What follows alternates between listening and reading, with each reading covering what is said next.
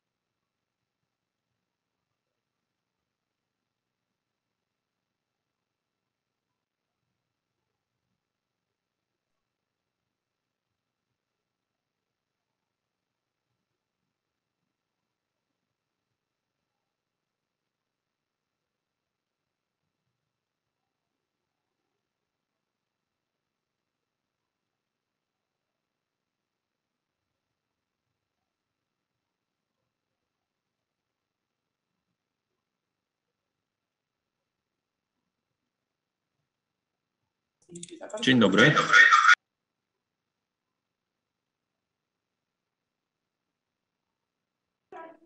Dzień dobry, witam pana przewodniczącego. Dzień dobry. Dzień dobry, witam Dzień serdecznie. dobry, dzień dobry. Nie słyszę. Dzień dobry, witam Państwa. Dzień dobry, witam serdecznie. Dobry. Dobry. Jeszcze raz dzień dobry Państwu. Dzień dobry, Stasiu. Dzień dobry Ci też.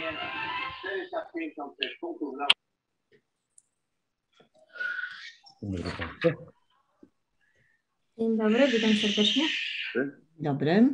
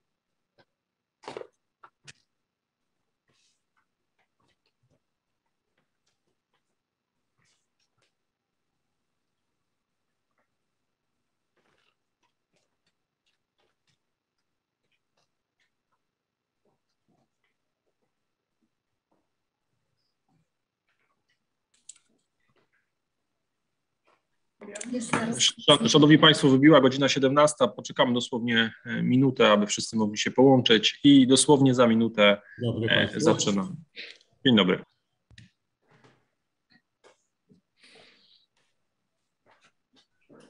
Dzień dobry.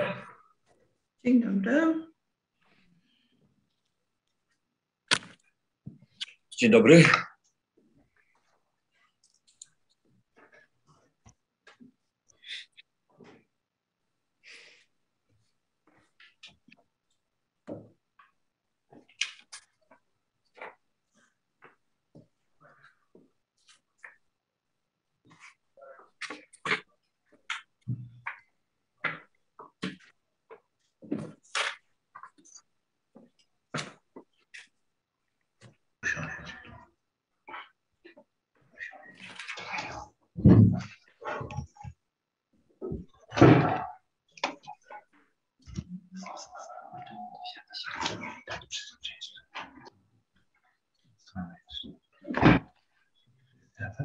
Dzień dobry. Dzień dobry.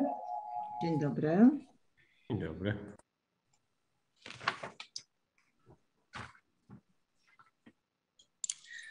E, Dzień dobry, witam Państwa bardzo serdecznie. Otwieram 42. sesję Rady Powiatu Pruszkowskiego, zwołaną w trybie zdalnym w związku z artykułem 15 ZZX ustęp 2 ustawy z dnia 31 marca 2020 roku o zmianie ustawy o szczególnych rozwiązaniach, rozwiązaniach związanych z zapobieganiem, przeciwdziałaniem i zwalczaniem COVID-19, innych chorób zakaźnych oraz wywołanych nimi sytuacji kryzysowych oraz niektórych innych ustaw. E, Witam wszystkich Państwa radnych, witam starostę, zarząd powiatu pruszkowskiego, e, witam e, pana sekretarza, panią skarbnik powiatu, kierowników jednostek organizacyjnych powiatu, dyrektorów jednostek oświatowych powiatu, naczelników wydziałów i biur starostwa, zaproszonych gości, przedstawicieli mediów lokalnych oraz mieszkańców, którzy oglądają przebieg sesji w trybie online.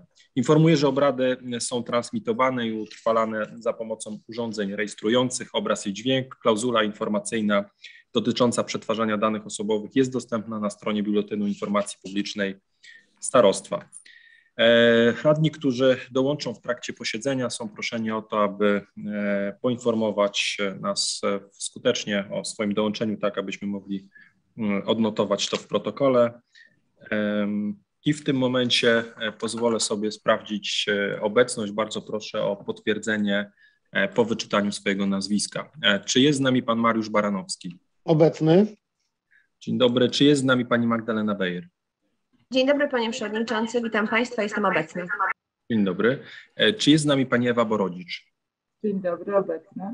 Dzień dobry. Pan Zdzisław Brzeziński? Dzień dobry Państwu, jestem. Dzień dobry. Pan Mirosław Chmielewski?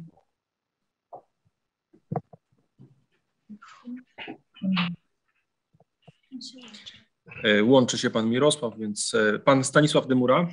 Jestem, dzień dobry. Dzień dobry. Pan Adrian Eismont? Witam wszystkich serdecznie, jestem obecny. Mamy tak. Paniale, pani Halina Górnia-Kuszyńska?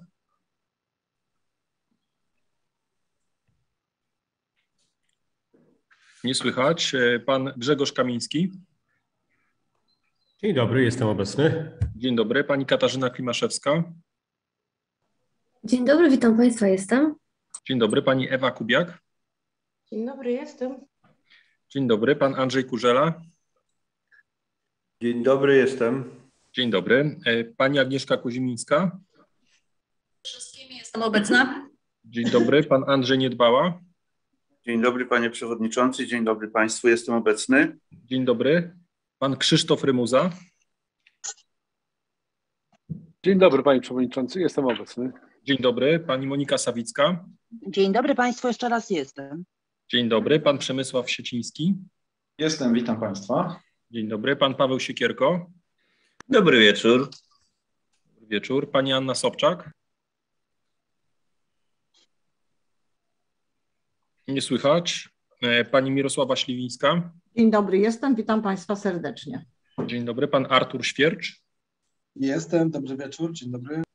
Dobry wieczór. Pani Lidia Wrona? Nie słychać. Pan Paweł Zacny? Dzień dobry Państwu, jestem. Dzień dobry. Pani Aurelia Zalewska? Dzień dobry Państwu, jestem obecna. Dzień dobry. Pani Dorota Zglińska. Dzień dobry, jestem obecna. Dzień dobry. I pani Zdzisława Zielińska. Dzień dobry jestem. E, i Proszę jeszcze potwierdzenie obecności przez pana Mirosława Chmielewskiego, bo widzę, że dołączył. Obecny jestem. Dzień dobry. Dzień dobry, panie przewodniczący. Halina Gówniak-Kuszyńska jestem. Dzień dobry, dziękuję bardzo za potwierdzenie. E, Czyli mamy 25 osób, e, 25 osób, 25 radnych uczestniczy w sesji, co wobec ustawowego składu wnoszącego 27 osób stanowi oczywiście kworum, które pozwala nam dzisiaj podejmować prawomocne decyzje. Informuję, że kolejnym punktem porządku są wnioski do porządku obrad. E, Porządek sesji został Państwu przysłany wraz z materiałami. E, Rozumiem, że wszyscy Państwo e, zapoznali się z, z porządkiem obrad. Jeśli są jakieś wnioski e, do porządku, to to jest ten moment, w którym można zgłaszać. Czy ktoś z Państwa chciałby zgłosić? Dzień dobry, panie przewodniczący. Halina Górniak-Kuszyńska. Było potwierdzenie mojej obecności. Dzień dobry, tak, e, potwierdziłem. Dziękuję. E, Bardzo, bardzo dziękuję Pani Halina. Nie widzę osób, które chciałyby zgłosić jakieś wnioski do porządku obrad, w związku z tym zamykam punkt trzeci, przechodzimy do punktu czwartego i informuję, że kolejnym punktem jest przyjęcie protokołu e, z, z 41. sesji Rady Powiatu Pruszkowskiego. E, Stwierdzam, że w związku z brakiem uwag, e, które nie wpłynęły i wobec sprzeciwu, który nie został zanotowany z 41. sesji Rady Powiatu Pruszkowskiego, protokół został przyjęty. Zamykam punkt czwarty i przechodzę do punktu piątego. Informuję, że kolejnym punktem jest informacja numer 25 łamane na 2022 o pracy Zarządu Powiatu Pruszkowskiego w okresie od 9 grudnia 2021 do 9 lutego 2022 BR 494 łamane na 2022. Otwieram dyskusję. Kto z Państwa chciałby tutaj zabrać głos?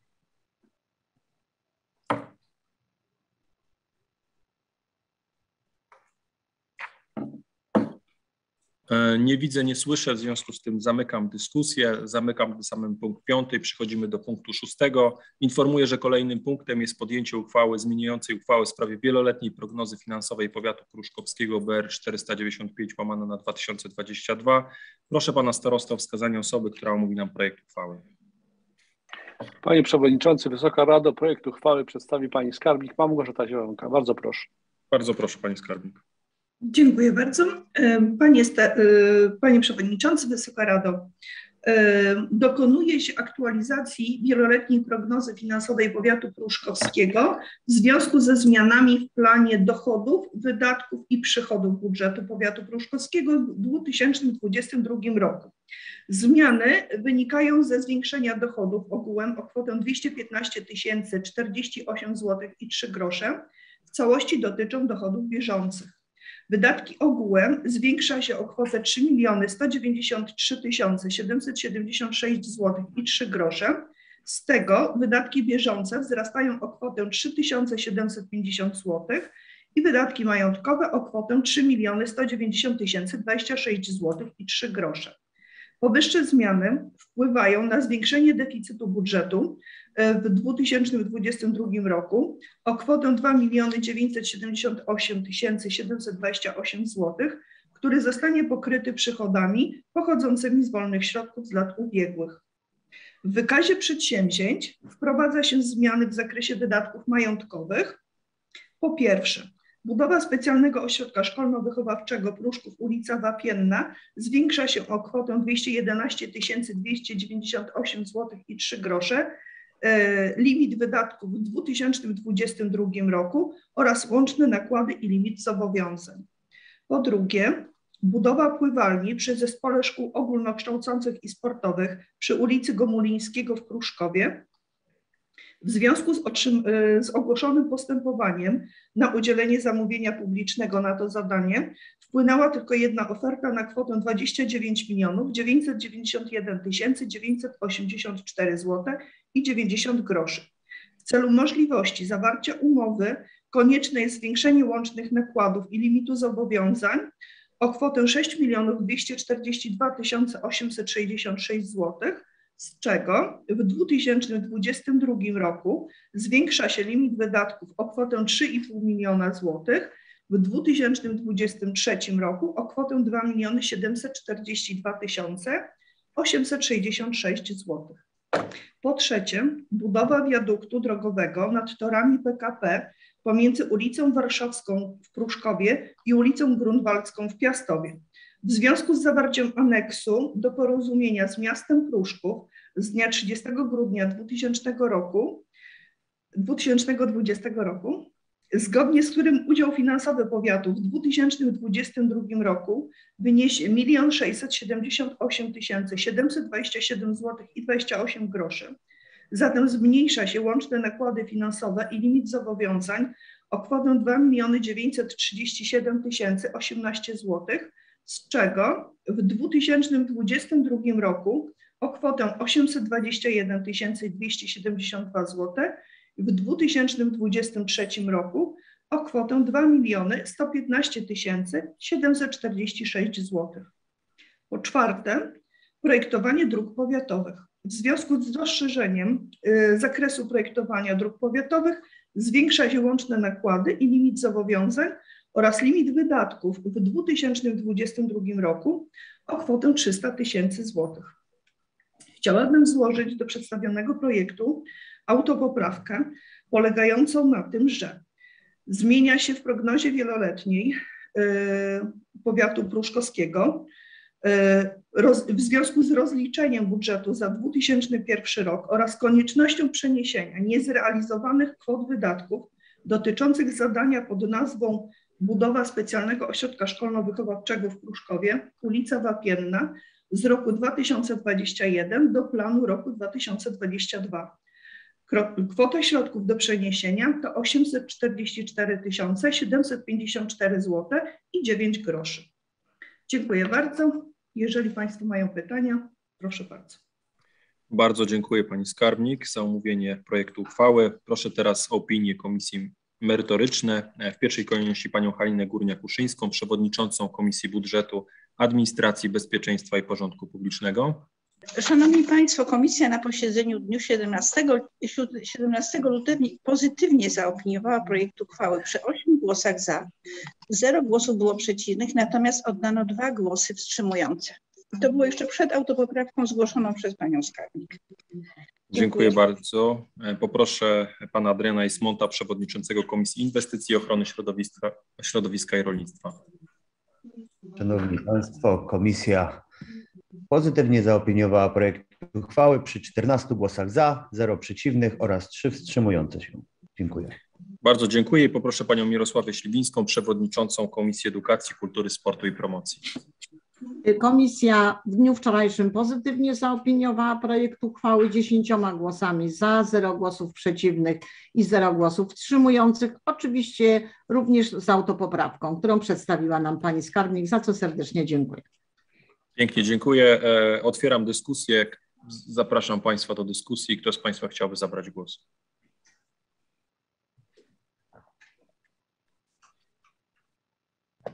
Nie widzę, nie słyszę. Zamykam dyskusję. Poddaję pod głosowanie uchwałę zmieniającą uchwałę w sprawie wieloletniej prognozy finansowej powiatu pruszkowskiego BR 495 łamane na 2022 wraz z autopoprawką. Proszę o zaznaczenie, kto z Państwa jest za, kto jest przeciw, kto się wstrzymał. Ja też poproszę. Anna jestem za. Jeszcze, jeszcze raz, przepraszam, jeszcze raz uruchamiamy głosowanie, bo jakiś problem techniczny. Proszę teraz u Państwa o głosowanie. Kto z Państwa jest za, kto jest przeciw, kto się wstrzymał. Już Warmiński jestem za. Mhm. Anna Sobczak, jestem za. Za chwilę będę podłączona do sesji, mam nadzieję. Dobrze, dziękuję. E, Pan Mirosław Chmielewski chyba chciał coś powiedzieć. Tak, za. Dziękuję. E, Jeszcze dwie osoby. Pan Grzegorz Kamiński i pani Mirosława Śliwińska. Jeszcze raz poproszę o oddanie głosu. Dziękuję. Bardzo dziękuję. 25 osób za, 0 przeciw, jedna osoba się e, wstrzymała. Stwierdzam, że uchwała zmieniająca uchwałę w sprawie wieloletniej prognozy finansowej powiatu pruszkowskiego została podjęta. Bardzo dziękuję. E, Zamykam punkt szósty i przechodzimy do punktu siódmego. W kolejnym punkcie rozważymy podjęcie uchwały zmieniającej uchwałę w sprawie uchwalenia budżetu powiatu pruszkowskiego na rok 2022, BR 496 łamane na 2022. Tradycyjnie proszę pana starostę o wskazanie osoby, która omówi nam projekt uchwały. Panie Przewodniczący, Wysoka Rada, uchwałę przedstawi Pani Skarbnik Małgorzata Zielonka. Bardzo proszę. Bardzo Dziękuję bardzo, bardzo. Panie Starosto. E, Panie Przewodniczący, Wysoka Rado, e, Szanowni Państwo, e, przedstawię teraz e, objaśnienia do uchwały w sprawie zmian budżetu w 2022 roku. E, Dochody. Zwiększa się plan dochodów o łączną kwotę 215 048 zł i 3 grosze. Z tego dział pozostałe zadania z zakresu polityki społecznej, rozdział Powiatowe Urzędy Pracy, paragraf Środki z Funduszu Pracy otrzymane na realizację zadań wynikających z odrębnych ustaw, zwiększenie planu o kwotę 3750 zł na finansowanie przez Powiatowe Urzędy Pracy kosztów obsługi zadania określonego w artykule 15 ZZE4. Jedno, to jest jednorazowe dotacje z Funduszu Pracy na pokrycie bieżących kosztów prowadzenia działalności gospodarczej przez mikroprzedsiębiorców lub małych przedsiębiorców zgodnie z pismem ministra rodziny i polityki społecznej z dnia 23 grudnia 2021 roku. Dział 854 Edukacyjna opieka wychowawcza. Rozdział Pozostała działalność. Paragraf Wpływy z otrzymanych zapisów, spadków i darowizn w postaci pieniężnej. Zwiększenie planu o kwotę 211 298 zł i 3 grosze w związku z otrzymaną darowizną na pokrycie kosztów budowy specjalnego ośrodka szkolno-wychowawczego imieniem e, księdza Jana Twardowskiego przy ulicy Wapiennej 2 w Pruszkowie zgodnie z umową darowizny zawartą w dniu 13 stycznia 2022 roku z Fundacją Pruszyńscy. Planowane dochody po zmianach wynoszą ogółem 211 milionów 205 tysięcy 919 zł i 3 grosze, w tym dochody bieżące 186 tysięcy milionów, przepraszam, 973 919 zł i 3 grosze i dochody majątkowe 24 miliony 242 tysiące. Wydatki. Zwiększa się plan wydatków o łączną kwotę 2 miliony 893 tysiące 776 zł i 3 grosze. Z tego dział Transport i Łączność, rozdział Drogi Publiczne Powiatowe. Wydatki inwestycyjne, zmniejszenie planu o kwotę 521 272 zł i w tym budowa wiaduktu drogowego pod, nad torami PKP pomiędzy ulicą Warszawską w Pruszkowie i ulicą Grunwaldzką w Piastowie, zmniejszenie planu o kwotę 821 272 zł w związku z zawartym aneksem do porozumienia wykonawczego z dnia 30 grudnia 2020 roku dotyczącego realizacji zadania inwestycyjnego pod nazwą budowa wiaduktu łączącego ulicę Grunwaldzką z ulicą Warszawską, zgodnie z którym zmieniono między innymi udział finansowy powiatu w realizacji przedmiotowej inwestycji, która po zmianie wynosi w 2022 roku 1 678 727 zł i 28 groszy i 0 zł w 2023 roku. Po drugie, planowanie dróg powiatowych, projektowanie dróg powiatowych, zwiększenie planu o kwotę 300 tysięcy złotych w związku ze zwiększeniem zakresu projektowania. Dział Administracja Publiczna, rozdział Starostwa Powiatowe. Wydatki inwestycyjne jednostek budżetowych. Yy, zmiana polega na zmianie nazwy zadania. Było budowa zapasowej serwerowni i po zmianach będzie budowa Powiatowego Centrum Danych, etap pierwszy zabezpieczenie danych. Dział Oświata i Wychowanie. Rozdział Branżowe Szkoły pierwszego i drugiego stopnia. Paragraf. Dotacja celowa przekazana, przekazana dla powiatu na zadania bieżące realizowane na podstawie porozumień między jednostkami samorządu terytorialnego. Zwiększenie planu o kwotę 5 tysięcy złotych na przeprowadzenie praktyk zawodowych dla uczniów szkół branżowych w powiatach zielonogórskim i żuromińskim. Rozdział Pozostała działalność. Dotacja celowa przekazana dla powiatu na zadania bieżące realizowane na podstawie porozumień między jednostkami samorządu terytorialnego. Zwiększenie planu o kwotę 2500 zł na realizację nauczania religii w grupach międzyszkolnych w ramach porozumienia z powiatem grodziskim.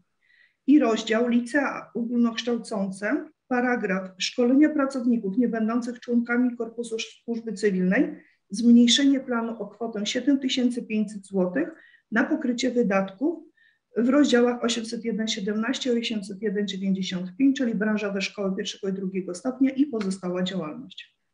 Dział pozostałe zadania z zakresu polityki społecznej, rozdział Powiatowe Urzędy Pracy, paragraf zakup materiałów i wyposażenia, zwiększenie planu o kwotę 3750 zł na finansowanie przez Powiatowe Urzędy Pracy kosztów obsługi zadania określonego w artykule 15 ZZE4, czyli jednorazowe dotacje z Funduszu Pracy na pokrycie bieżących kosztów prowadzenia działalności gospodarczej przez mikroprzedsiębiorców lub małych przedsiębiorców zgodnie z pismem ministra rodziny i polityki społecznej z dnia 23 grudnia 2021 roku.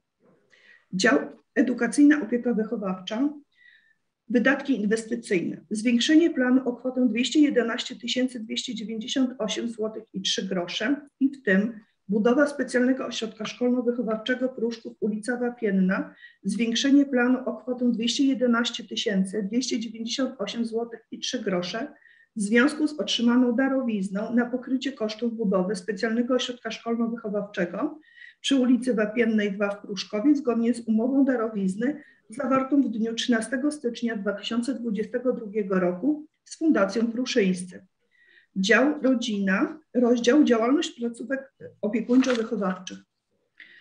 Paragraf dotacja celowa przekazana dla powiatu na zadania bieżące realizowane na podstawie porozumień między jednostkami samorządu terytorialnego, zmniejszenie planu o kwotę 100 tysięcy złotych i paragraf zakup usług przez jednostki samorządu terytorialnego dla innych jednostek samorządu terytorialnego, zwiększenie planu o kwotę 100 tysięcy złotych.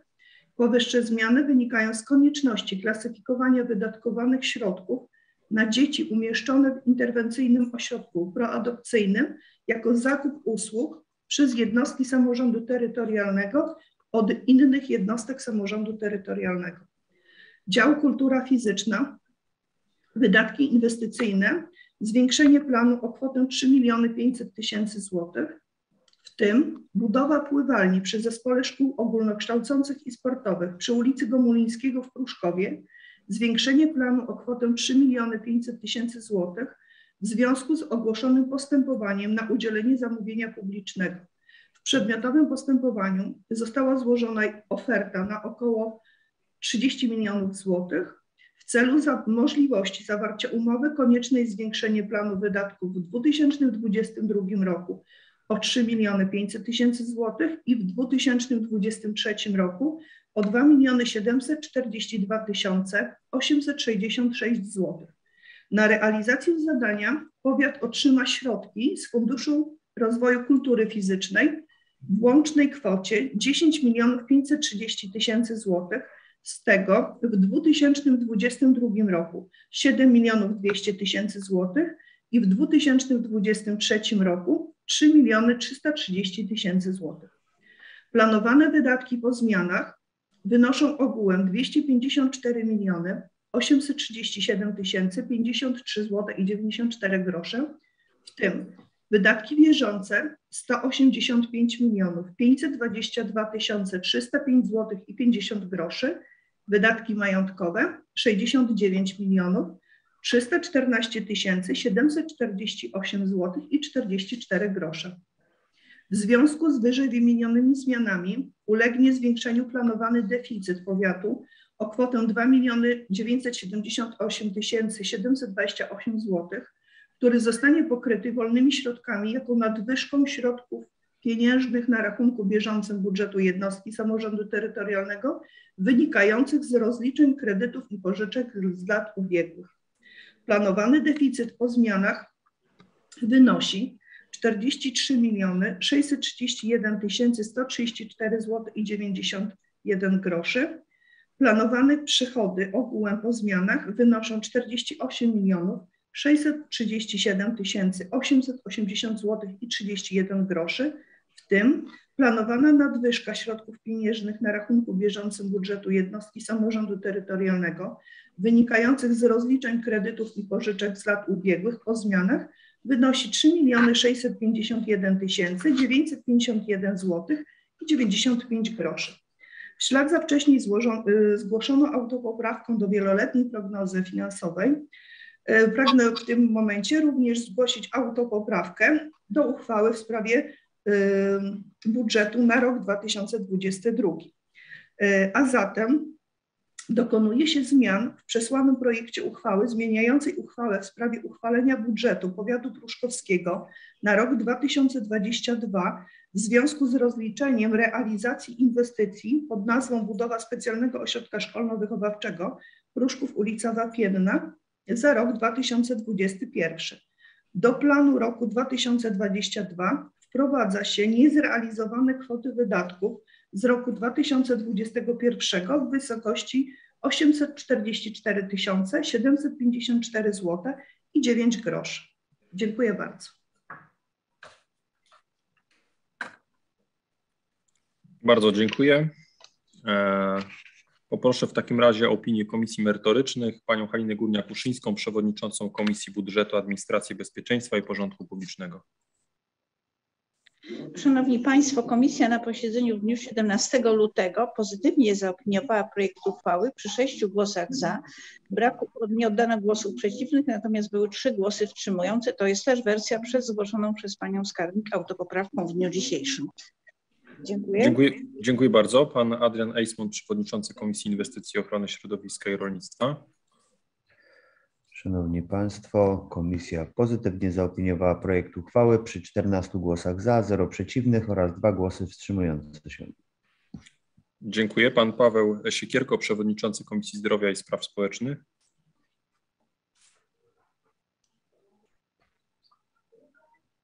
Już przepraszam. Panie Przewodniczący, koledzy, koleżanki radni, Komisja Zdrowia i Spraw Społecznych pozytywnie zaopiniowała projekt tej uchwały. 12 głosów za, brak głosów przeciwnych i wstrzymujących. Dziękuję. Poproszę o opinię panią Mirosławę Śliwińską, przewodniczącą Komisji Edukacji, Kultury, Sportu i Promocji. Panie Przewodniczący, Szanowni Państwo, Komisja w dniu wczorajszym pozytywnie zaopiniowała projekt uchwały wraz z autopoprawką przedstawioną przez Panią Skarbnik na Komisji dziesięcioma głosami za, przy zero głosów przeciwnych i zero głosów wstrzymujących. Bardzo dziękuję. Otwieram dyskusję. Kto z Państwa chciałby zabrać głos? Proszę o zapisywanie się przez program sesja.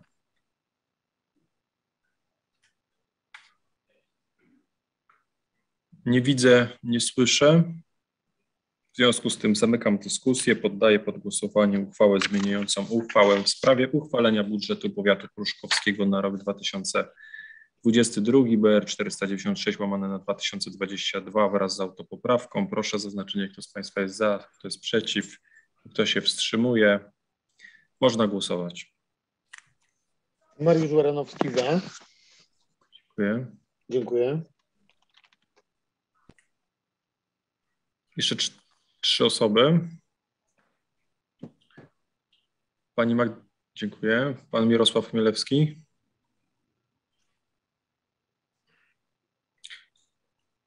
Zamykam głosowanie. 25 osób za, 0 przeciw, 0 wstrzymujących. Jedna osoba nie oddała głosu. Stwierdzam, że uchwała zmieniająca uchwałę w sprawie uchwalenia budżetu powiatu pruszkowskiego na rok 2022 została podjęta. Dziękuję Państwu. Dziękuję Pan Skarbnik. Zamykam punkt siódmy i przechodzę do punktu ósmego.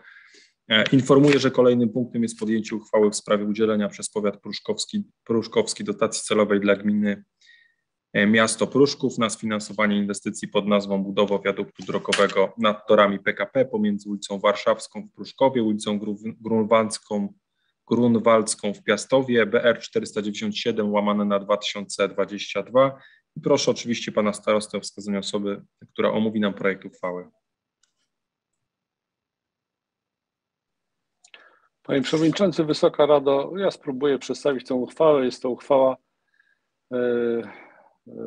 podsumowująca kilkuletnią współpracę w zakresie realizacji porozumienia dla zrealizowania zadania inwestycyjnego pod nazwą budowa wiaduktu drogowego nad torami PKP między Warszawską Pruszkowie i Grunwaldzką w Piastowie. Zawarte zostało porozumienie między gminą Pruszków, gminą Piastów, powiatem pruszkowskim, gdzie gmina Pruszków, gmina Piastów i powiat pruszkowski zobowiązały się pomóc w realizacji tego zadania dla gminy miasto Pruszków. I ta uchwała jest realizacją tego porozumienia. Przekazujemy 1 678 727 zł dla miasta Pruszków. Proszę uprzejmie o za przyjęcie tej uchwały. Bardzo dziękuję za omówienie. Proszę o opinię Komisji Merytorycznych. Proszę o opinię panią Halinę Górniak-Uszyńską, przewodniczącą Komisji Budżetu, Administracji, Bezpieczeństwa i Porządku Publicznego.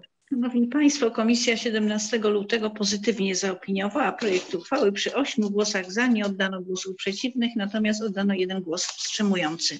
Dziękuję. Bardzo dziękuję. Pan Adrian Eismont, przewodniczący Komisji Inwestycji, Ochrony Środowiska i Rolnictwa. Szanowni Państwo, komisja pozytywnie zaopiniowała projekt uchwały. Komplet głosów, wszyscy radni głosowali za, 17 osób. Dziękuję. Bardzo dziękuję. Otwieram dyskusję. Kto z Państwa chciałby zabrać głos? Proszę o zapisywanie się przez program sesja. Nie widzę, nie słyszę. W związku z tym zamykam dyskusję. Przechodzimy do głosowania. Poddaję pod głosowanie uchwałę w sprawie udzielenia przez powiat pruszkowski dotacji celowej dla gminy miasto Pruszków na sfinansowanie inwestycji pod nazwą budowa wiaduktu drogowego nad torami PKP pomiędzy ulicą Warszawską w Pruszkowie, ulicą Grunwaldzką w Piastowie BR 497 łamany na 2022. Kto z Państwa jest za, kto jest przeciw, kto się wstrzymał? Proszę o głosowanie w programie sesja. Już Baranowski, jestem za. Dziękuję. Dziękuję. Jeszcze dwie, jeszcze dwie osoby proszę o oddanie głosu. A, dziękuję bardzo. 25 osób za, 0 przeciw, jedna osoba się wstrzymała.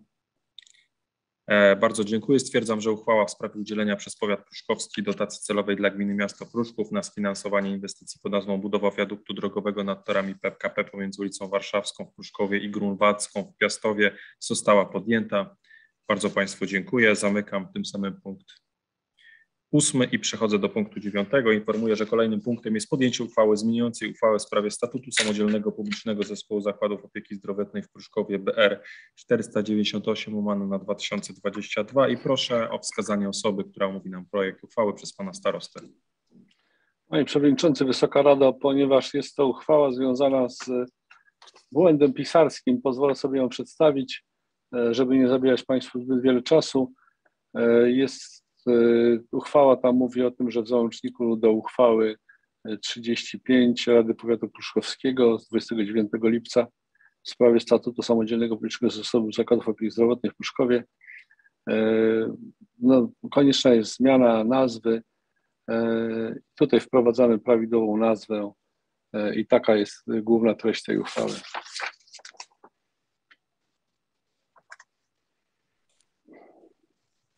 Bardzo dziękuję. E, Proszę o opinię Komisji Merytorycznej. Proszę pana Pawła Siekierko, przewodniczącego Komisji Zdrowia i Spraw Społecznych o odczytanie opinii. Panie Przewodniczący, Szanowni Koledzy, Koleżanki e, Radni, Komisja na swoim ostatnim posiedzeniu oczywiście pozytywnie zaopiniowała projekt tej uchwały. Komplet głosów za. Dziękuję uprzejmie. Bardzo dziękuję. Otwieram dyskusję. Kto z Państwa chciałby zabrać głos?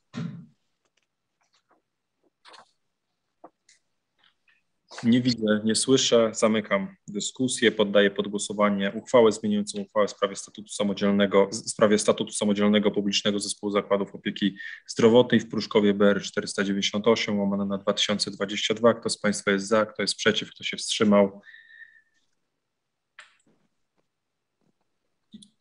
Pan Mariusz Barianowski, jak Jestem za. Jestem za. Dziękuję. 26 osób za, 0 przeciw, 0 wstrzymujących.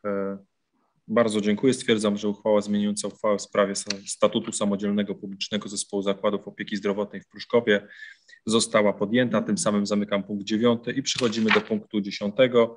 Informuję, że kolejnym punktem jest podjęcie uchwały zmieniającej uchwałę w sprawie rozkładu godzin pracy aptek ogólnodostępnych na terenie powiatu pruszkowskiego BR 499 łamane na 2022 i proszę pana starostę o wskazanie osoby, która omówi nam projekt uchwały. Panie Przewodniczący, Wysoka Rado, poproszę Panią Kierownik Joannę Hajdukiewicz o przedstawienie tego tematu. Dobry wieczór Państwu. Ja bardzo krótko. W związku z zamknięciem apteki prowadzącej działalność sprzedaż leków i produktów leczniczych w Nadarzynie przy ulicy Włońskiej wprowadza się zmiany w rocznym y, harmonogramie dyżurów aptek na terenie gminy Nadarzyn w taki sposób, że dyżury apteki przejmują apteki, y, pozostałe apteki z terenu gminy Nadarzyn. To tylko tyle. Dziękuję. Bardzo dziękuję. Proszę o opinię Komisji Merytorycznej. Pan Paweł Siekierko, Przewodniczący Komisji Zdrowia i Spraw Społecznych. E, Panie Przewodniczący, e, Komisja Zdrowia i Spraw Społecznych na swoim ostatnim posiedzeniu pozytywnie zaopiniowała projekt tej uchwały. 12 głosów za, brak głosów przeciwnych i wstrzymujących. Bardzo dziękuję. Otwieram dyskusję. Kto z Państwa chciałby zabrać głos?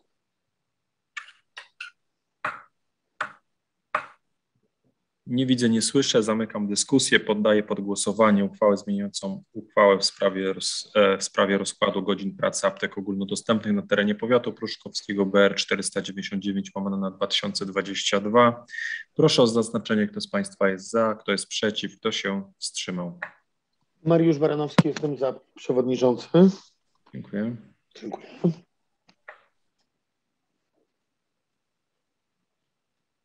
26 osób za, 0 przeciw, 0 wstrzymujących. E, Stwierdzam, że uchwała zmieniająca uchwałę w sprawie rozkładu godzin pracy aptek ogólnodostępnych na terenie powiatu pruszkowskiego została podjęta.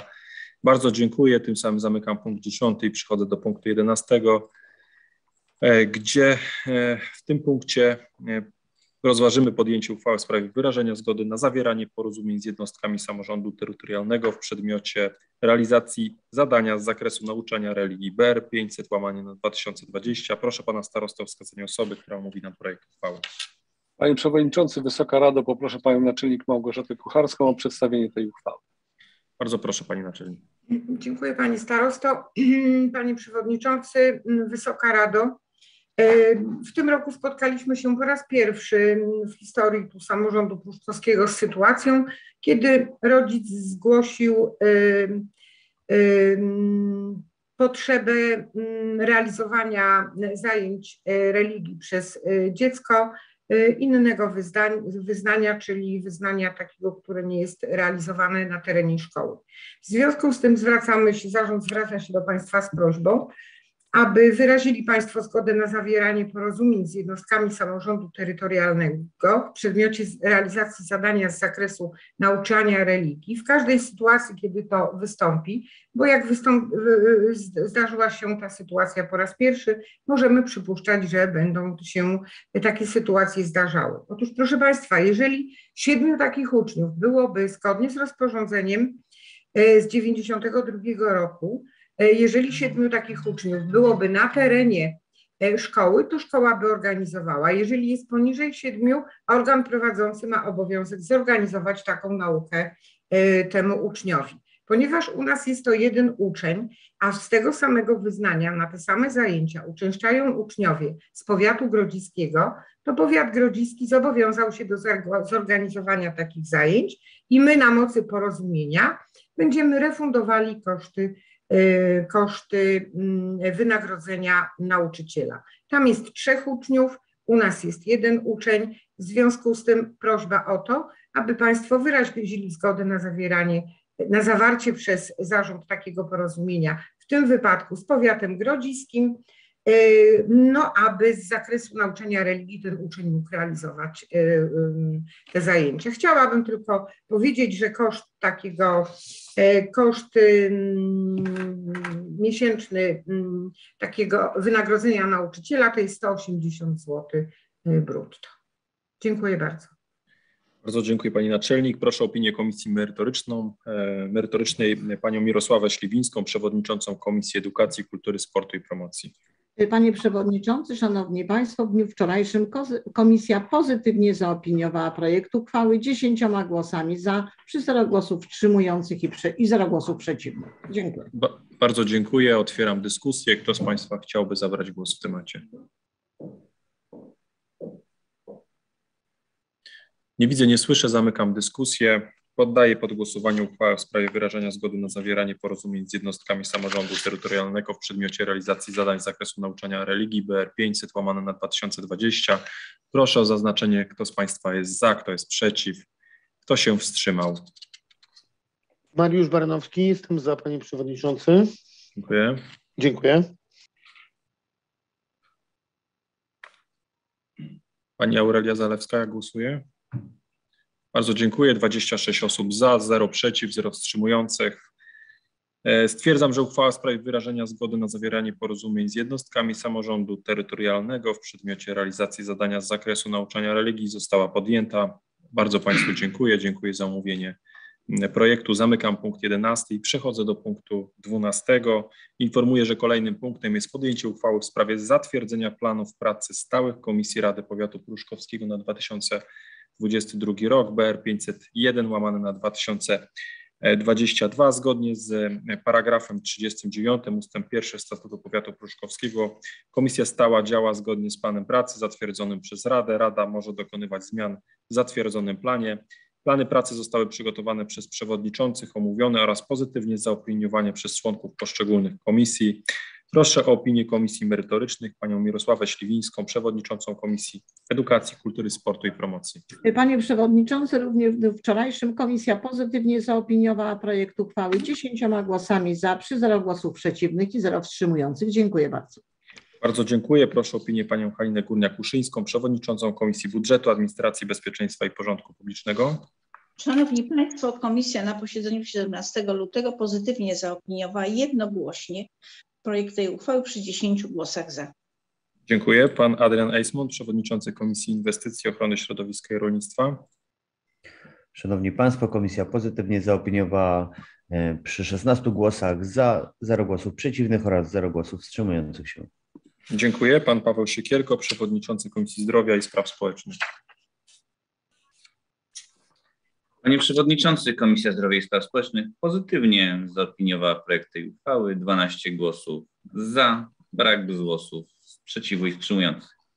Bardzo dziękuję. Otwieram dyskusję. Kto z Państwa chciałby zabrać głos? Nie widzę, nie słyszę. Zamykam dyskusję. Poddaję pod głosowanie uchwałę w sprawie zatwierdzenia planów pracy stałych Komisji Rady Powiatu Pruszkowskiego na 2022 rok. BR 501 łamane na 2022. Proszę o znaczenie, zaznaczenie, kto z Państwa jest za, kto jest przeciw, kto się wstrzymał.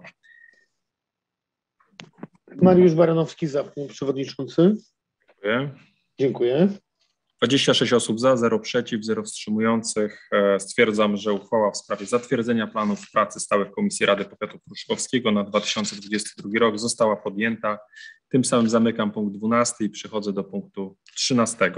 Informuję, że kolejnym punktem jest podjęcie uchwały w sprawie rozpatrzenia skargi BR 502 łamane na 2022 i proszę o omówienie projektu uchwały przez pana Andrzeja Kurzelę, przewodniczącego Komisji Skarg, Wniosków i Petycji. Dziękuję bardzo panie przewodniczący. Myślę, że to przypadek, że to jest akurat skarga i punkt 13, ale y, wracając do meritum, to mieszkanka Raszyna w dniu 23 grudnia ubiegłego roku złożyła y, do, na kancelarię Starostwa Powiatowego skargę. Ta skarga została przekierowana do Biura Rady 27 grudnia y, i, i skierował, pan przewodniczący skierował to do naszej komisji, która sprawą zajęła się 17 stycznia. Nie będę, oczywiście Państwo dostali bardzo szczegółowe uzasadnienie do tej uchwały, ja tylko może kilka punktów naświetlę, bo skarżąca zarzucała przede wszystkim brak możliwości wypowiadania się e, w sprawie odmowy wydania pozwolenia, bo takie, taka odmowa została wydana i, i podnosiła, że w dniu 12 września skarżąca otrzymała pismo, w którym została poinformowana, że na podstawie argumentów w sprawie pozwolenia na budowę ma y, trzy dni y, niestety tak się stało, że wcześniej, czy 30 sierpnia 2021 roku takie, taka odmowa już została wydana. My, my wysłuchaliśmy oczywiście wyjaśnień pani naczelnik Lesiakowskiej i ona uzasadniała, że ta procedura się bardzo przeciągała. Jak Państwo na pewno zapoznali się z uzasadnieniem, to, to w uzasadnieniu jest napisane, że 13 razy pani, która wnosi, wniosła skargę, była proszona o uzupełnianie dokumentacji i upływał już czas niezbędny do wydania decyzji, nawet tej przeciągającej się decyzji.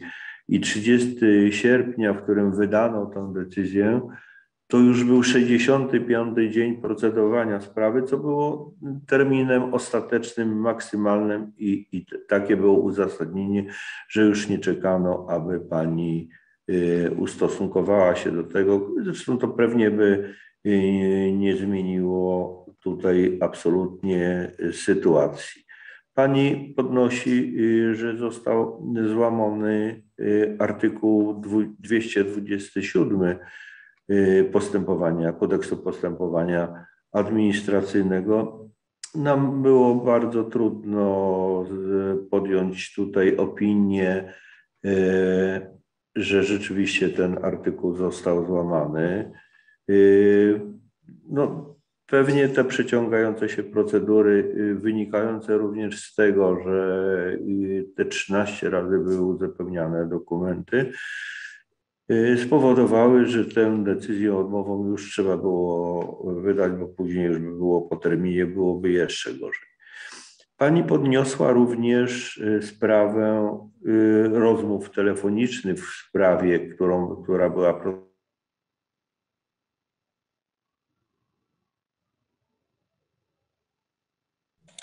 Mhm, rozumiem, że jakiś problem z internetem. Już zaraz chwileczkę połączymy się z panem Andrzejem, bo widzę, że tu jest jakiś problem techniczny.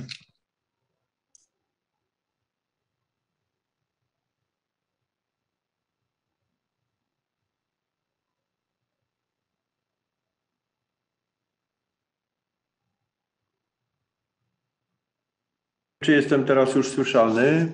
Bo coś mnie uciekł teraz, internet. Tak, teraz tak. Właśnie był jakiś problem. Tak. Proszę kontynuować. Pani, pani, pani podnosiła również y, y, sprawy kontaktów z urzędem. Chodzi o, o kontakty telefoniczne i wnosi o to, żeby y, te kontakty w jakiś sposób były rejestrowane, ponieważ ona twierdzi, że to, co usłyszała od y, pracowników, to całkowicie było inaczej interpretowane niż interpretują to pracownicy. To jest absolutnie nie do zweryfikowania dzisiaj, w związku z tym trudno się tym zająć i, i oczywiście wnioskujemy, żeby starosta rozważył y, rejestratory, które będą mogły rejestrować szczególnie w tych wydziałach, gdzie są kontakty telefoniczne między pracownikami a zainteresowaną stroną, bo rzeczywiście to może być później różnie interpretowane. W każdym bądź razie to pismo, które pani skierowała y, odnośnie odmowy wydania pozwolenia na budowę, zostało potraktowane już jako skarga i odwołanie w zasadzie, nie skarga, bo skarga to teraz jest rozpatrywana, odwołanie od decyzji i urząd skierował y, dokumenty do wojewody mazowieckiego i obecnie y, urząd czeka, aż wojewoda się do tego ustosunkuje, ewentualnie wyda jakieś zalecenia czy wyteczne. I myślę, że y, uznanie tego, że sprawa jest w toku postępowania administracyjnego jest jak najbardziej zasadne, dlatego trzeba będzie podjąć uchwałę, tak jak jest to zapisane w, punkt, w paragrafie drugim uchwały, że zwracamy to, do, do, do, przekazujemy tę sprawę ponownie do starosty i będziemy czekali na rozstrzygnięcia, jakie zapadną w Urzędzie Wojewódzkim. Dziękuję bardzo. Bardzo dziękuję. E, panie Przewodniczący, pod, e, otwieram dyskusję. Jeśli ktoś z Państwa chciałby głos, za, zapraszam, zadać pytanie e, do zgłaszania się. Nie widzę, w związku z tym zamykam dyskusję. Poddaję pod głosowanie uchwałę w sprawie rozpatrzenia skargi BR 502 łamane na 2022. Proszę o zaznaczenie, kto z Państwa jest za, kto jest przeciw, kto się wstrzymał.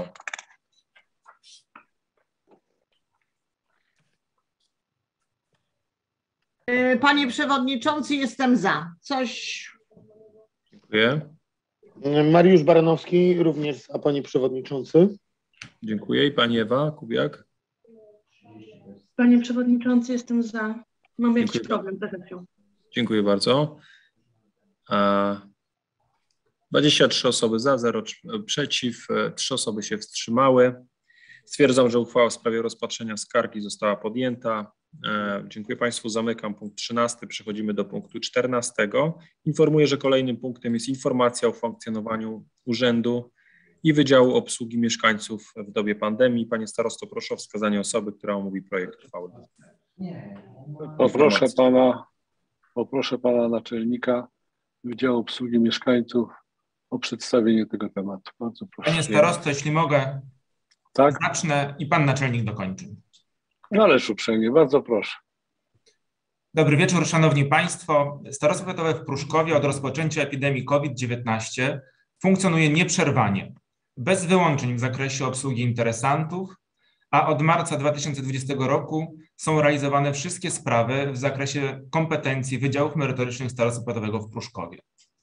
W okresie pandemii systematycznie zmieniono zasadę organizacji pracy, dostosowując ją do obowiązujących przepisów epidemicznych oraz wytycznych Ministerstwa Zdrowia i rozporządzeń Rady Ministrów. W 2020 i 2021 roku występowały okresy, tak zwane fale covidowe, w okresie których część pracowników starostwa pracowało w trybie rotacyjnym z podziałem na grupy z zachowaniem bieżącej obsługi klientów przez Wydział Obsługi Mieszkańców. W okresie pandemii systematycznie dbano o stan sanitarny przestrzeni w urzędzie ze szczególnym uwzględnieniem sal obsługi mieszkańców. W przypadku wystąpienia zagrożenia zakażenia wirusem decydowano się na dezynfekcję urzędu. W okresie epidemii uruchomiono nowe rozwiązania w zakresie obsługi klientów. Po pierwsze, zakupiono oprogramowanie w celu zwiększenia bezpieczeństwa danych, serwerów i macierzy oraz monitorowania pracy zdalnej osób pracujących przez połączenie VPN. Zakupiono sprzęt i oprogramowanie do pracy zdalnej oraz prowadzenia wideokonferencji. Uruchomiono wrzutomaty. We współpracy z firmą InPost uruchomiono obsługę Urząd 24, zapewniającą bieżącą i możliwą przez 24 godziny na dobę kontakt z urzędem i zostawianie u nas dokumentów. Rozbudowano i zabezpieczono sieć teleinformatyczną starostwa. Uruchomiono usługę call center służącą do obsługi masowych kontaktów z klientami przy użyciu telefonu. Zakupiono usługę QMS Everywhere, która zapewnia pobieranie biletu bez konieczności wydruku biletu. Uruchomiono również punkt potwierdzający profil zaufany w starostwie w celu zwiększenia dostępności usług cyfrowych dla mieszkańców. Dbano również o prawidłowe funkcjonowanie e-usług funkcjonujących w powiecie pruszkowskim, portalu ePUAP czy portalu PWPW w zakresie obsługi mieszkańców. Na podstawie umowy z wójtem gminy Raszyn zwiększono liczbę pracowników do sześciu osób obsługujących klientów filii w Raszynie. Ponadto zakupiono urządzenia do dezynfekcji rąk, pomiaru temperatury, certyfikowane urządzenia oczyszczające powietrze oraz lampy UVBC do odkażania. W okresie pandemii wdrażano systematycznie procedury w zakresie ochrony pracowników, w zakresie również wykrywania podejrzenia zachorowania, wprowadzono regulamin pracy zdalnej, wprowadzono strefy dostępu oraz na bieżąco prowadzono procesy oraz systematyczny zakres obsługi klientów z zachowaniem określonego reżimu sanitarnego zgodnie z przepisami. W okresie pandemii na terenie starostwa powiatowego były zachorowania wśród pracowników, jednak nie odnotowano żadnych ognisk wirusa. Pracownicy systematycznie, w miarę potrzeb, mają dostarczone na bieżąco maseczki, płyny do dezynfekcji. Ponadto dokonano zmian w umowie z firmą sprzątającą, obsługującą starostwo pod kątem czyszczenia dezynfekcji powietrznej w zakresie wirusa COVID. Teraz poproszę panią Annę Rusiecką i pana Sławomira Rakowieckiego, zastępców naczelnika Wydziału Obsługi Mieszkańców oraz panią Emilię Kołodziejczyk, koordynatora WOM, o przedstawienie szczegółowej prezentacji w zakresie danych liczbowych prezentujących pracę Wydziału Obsługi Mieszkańców.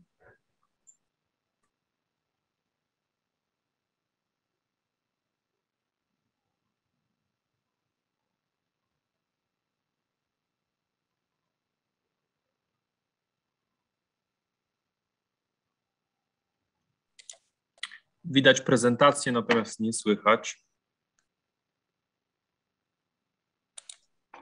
Sławomir Rakowiecki, zastępca naczelnika Wydziału Obsługi Mieszkańców. W dniu dzisiejszym przedstawimy Państwu informacje na temat zadań realizowanych w Wydziale Obsługi Mieszkańców, rozwiązań technicznych, jakie nas wspomagają w realizacji tych działań, danych dotyczących obsługi oraz problemach, z jakimi się spotykaliśmy, przede wszystkim związanych z COVID-19. Do zadań realizowanych w Wydziale Obsługi Mieszkańców należą rejestracja pojazdów, wydawanie uprawnień do kierowania pojazdami, transport drogowy, nadzór nad stacjami kontroli pojazdów, obsługa kancelaryjna starostwa, wydawanie dokumentów paszportowych, usuwanie pojazdów w trybie artykułu 130a prawa o ruchu drogowym, rejestracja sprzętu ubywającego, wydawanie kart wędkarskich, prowadzenie biura rzeczy znalezionych. Na terenie naszego wydziału realizowane są również zadania przez inne wydziały, przez geodezję, architekturę i przez Wydział Budżetu i Finansów, który obsługuje kasę. Dysponujemy i prowadzimy usługi w czterech lokalizacjach. W Starostwie w Pruszkowie, w filii Wydziału Obsługi Mieszkańców w gminie Raszyn, w filii Wydziału Obsługi Mieszkańców w gminy Nadarzyn oraz w oddziale w Mochowie, który jest częścią filii gminy Nadarzyn. W starostwie pruszkowskim dysponujemy 25 stanowiskami. 16 tych stanowi z tych stanowisk znajduje się w sali A, 9 stanowisk sali B. Stanowiska 1-3 to kancelaria, 4 do 7 to wydawanie paszportów, to są stanowiska w sali A.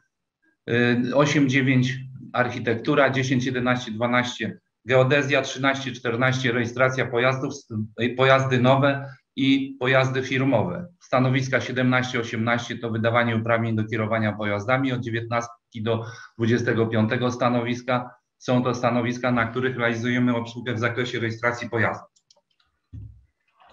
Szanowni Państwo, kancelaria zajmuje się pełną obsługą kancelaryjną starostwa w zakresie przyjmowania i wysyłania korespondencji, prowadzenia rejestrów korespondencji wychodzącej i przychodzącej, przygotowywaniem reklamacji pocztowych oraz bezpośrednią obsługą klientów na stanowisku. Oprócz wspomnianych zadań w, kancela w kancelarii realizujemy sprawy społeczne i obywatelskie z zakresu wydawania dokumentów paszportowych, zaproszeń dla cudzoziemców, wydajemy decyzje dotyczące sprowadzenia zwłok prochów z zagranicy. Prowadzimy również biuro rzeczy znalezionych i wydajemy karty wędkarskie. Przedstawione dane pokazują, jak dużo korespondencji wpływa do starostwa każdego roku. Rok 2020, w którym swój początek miała pandemia, pokazuje znaczący wzrost liczby koresponden korespondencji przychodzącej. Szczególnie dużym zainteresowaniem zaczęły się cieszyć elektroniczne rozwiązania umożliwiające przesyłanie dokumentów, przykład ePUAP, e-Urząd. W lipcu 2021 roku wprowadziliśmy w starostwie kolejną usługę, jaką jest potwierdzanie profilu zaufanego. Zmiany zmiany w sposobie przyjmowania dokumentów spowodowane pandemią oraz zmiany w ustawie prawo o ruchu drogowym wpłynęły na ogromny wzrost liczby dokumentów wpływających do WOM-u. Najlepiej widać to na przykładzie zbyć pojazdów. W 2019 roku wpłynęło około 800 zawiadomień, natomiast w roku 2020 blisko 8 tysięcy. Rejestracja, rejestracja pojazdów podzielona jest na dwie części. Obsługę bezpośrednią, gdzie oprócz rejestracji pojazdów zajmujemy się również rejestracją jachtów i innych jednostek pływających do 24 metrów długości oraz pozostałe zadania. Obsługa bezpośrednia prowadzona jest głównie w sali B i na dwóch stanowiskach w sali A, gdzie realizujemy sprawy dotyczące pojazdów firmowych. Pozostałe zadania to głównie prowadzenie postępowań, archiwizacja dokumentów, obsługa wydziałowego call center. Prezentowane statystyki dotyczą najbardziej popularnych usług z zakresu rejestracji pojazdów. Jak widać, najsłabszy był rok 2020 z uwagi na pojawienie się COVID-19. Znaczący wzrost liczby zgłoszeń sprzedaży pojazdów spowodowany jest zmianą przepisów związanych z nakładaniem kar. Przepis dotyczący zawiadamiania o nabyciu, zbyciu pojazdu obowiązywał od dawna, ale od 1 stycznia 2020 roku zostały wprowadzone kary za jego niestosowanie. Za niezgłoszenie nabycia, zbycia lub niezarejestrowanie pojazdu sprowadzonego z Unii Europejskiej w ustawowym terminie grozi kara od 200 do 1000 zł. Zmniejszenie zmian w dowodach rejestracyjnych jest również związane ze zmianą przepisów. Tym razem mowa o wymianach dowodów rejestracyjnych.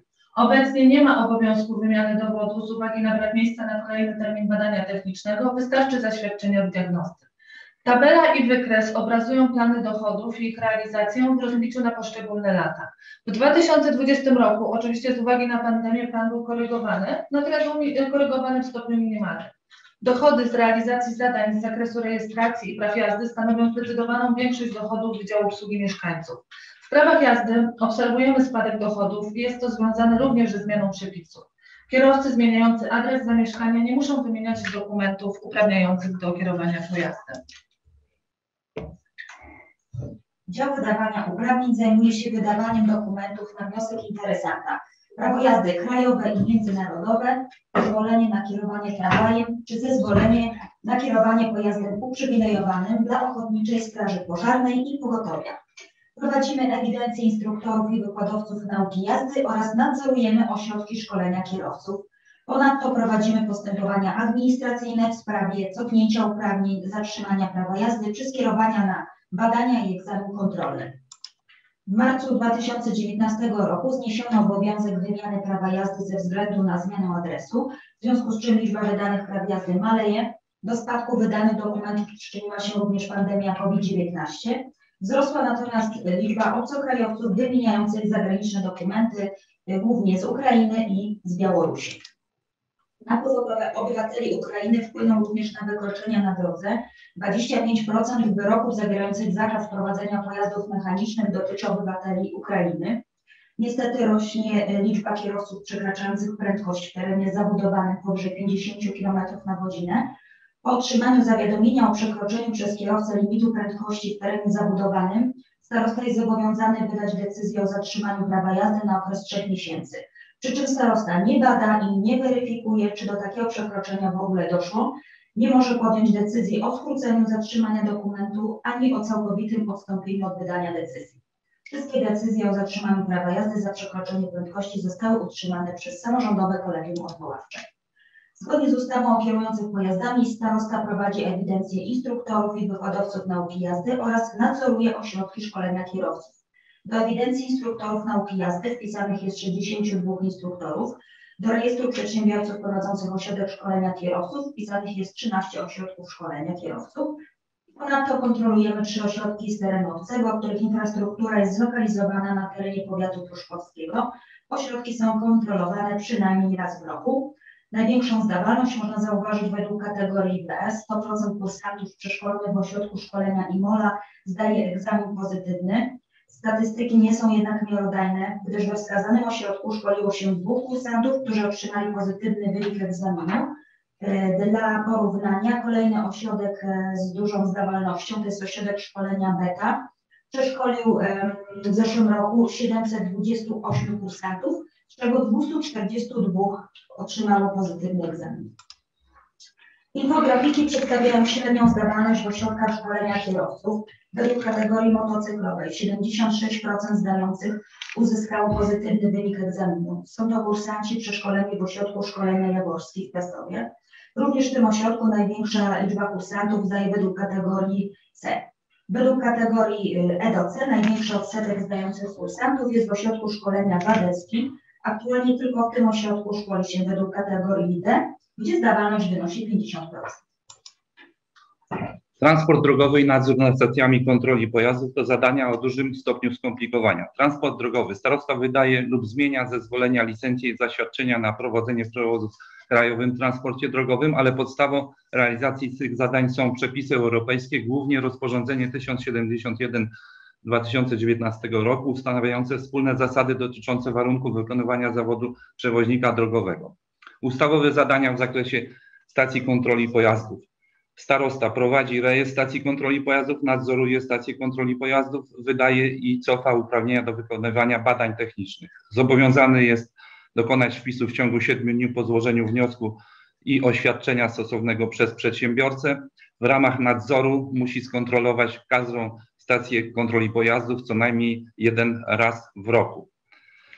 E, do prowadzenia tych działań niezbędna jest wiedza w zakresie eksploatacji trzymania pojazdów, nadzorowania przyrządów do kontroli pomiarów i badań i czynności badań technicznych pojazdów.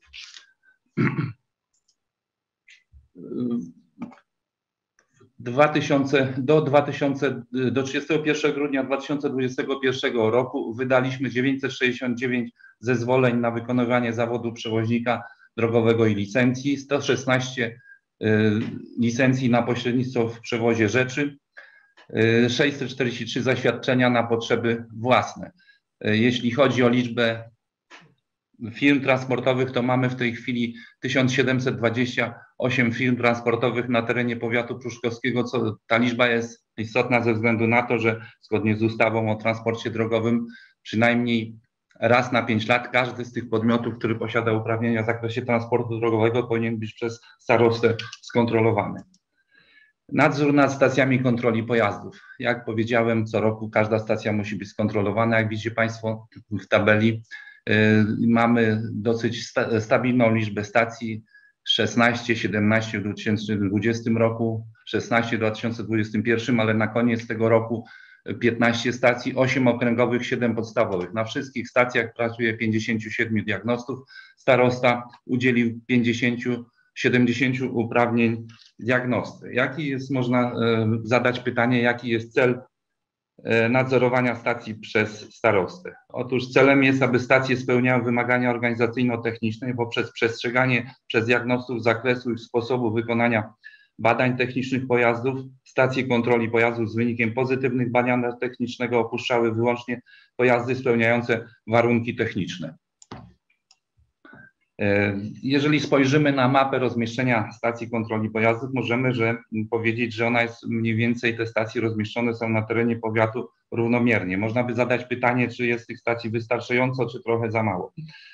Otóż na liczbę tych stacji starosta nie ma bezpośredniego wpływu, ale odnosząc to do liczb, jak Państwo pamiętacie, koleżanka mówiła o około 200 tysiącach zarejestrowanych pojazdów na terenie powiatu. Myślę, że około 75% z tych pojazdów wymaga przeglądu co roku, czyli 150 tysięcy.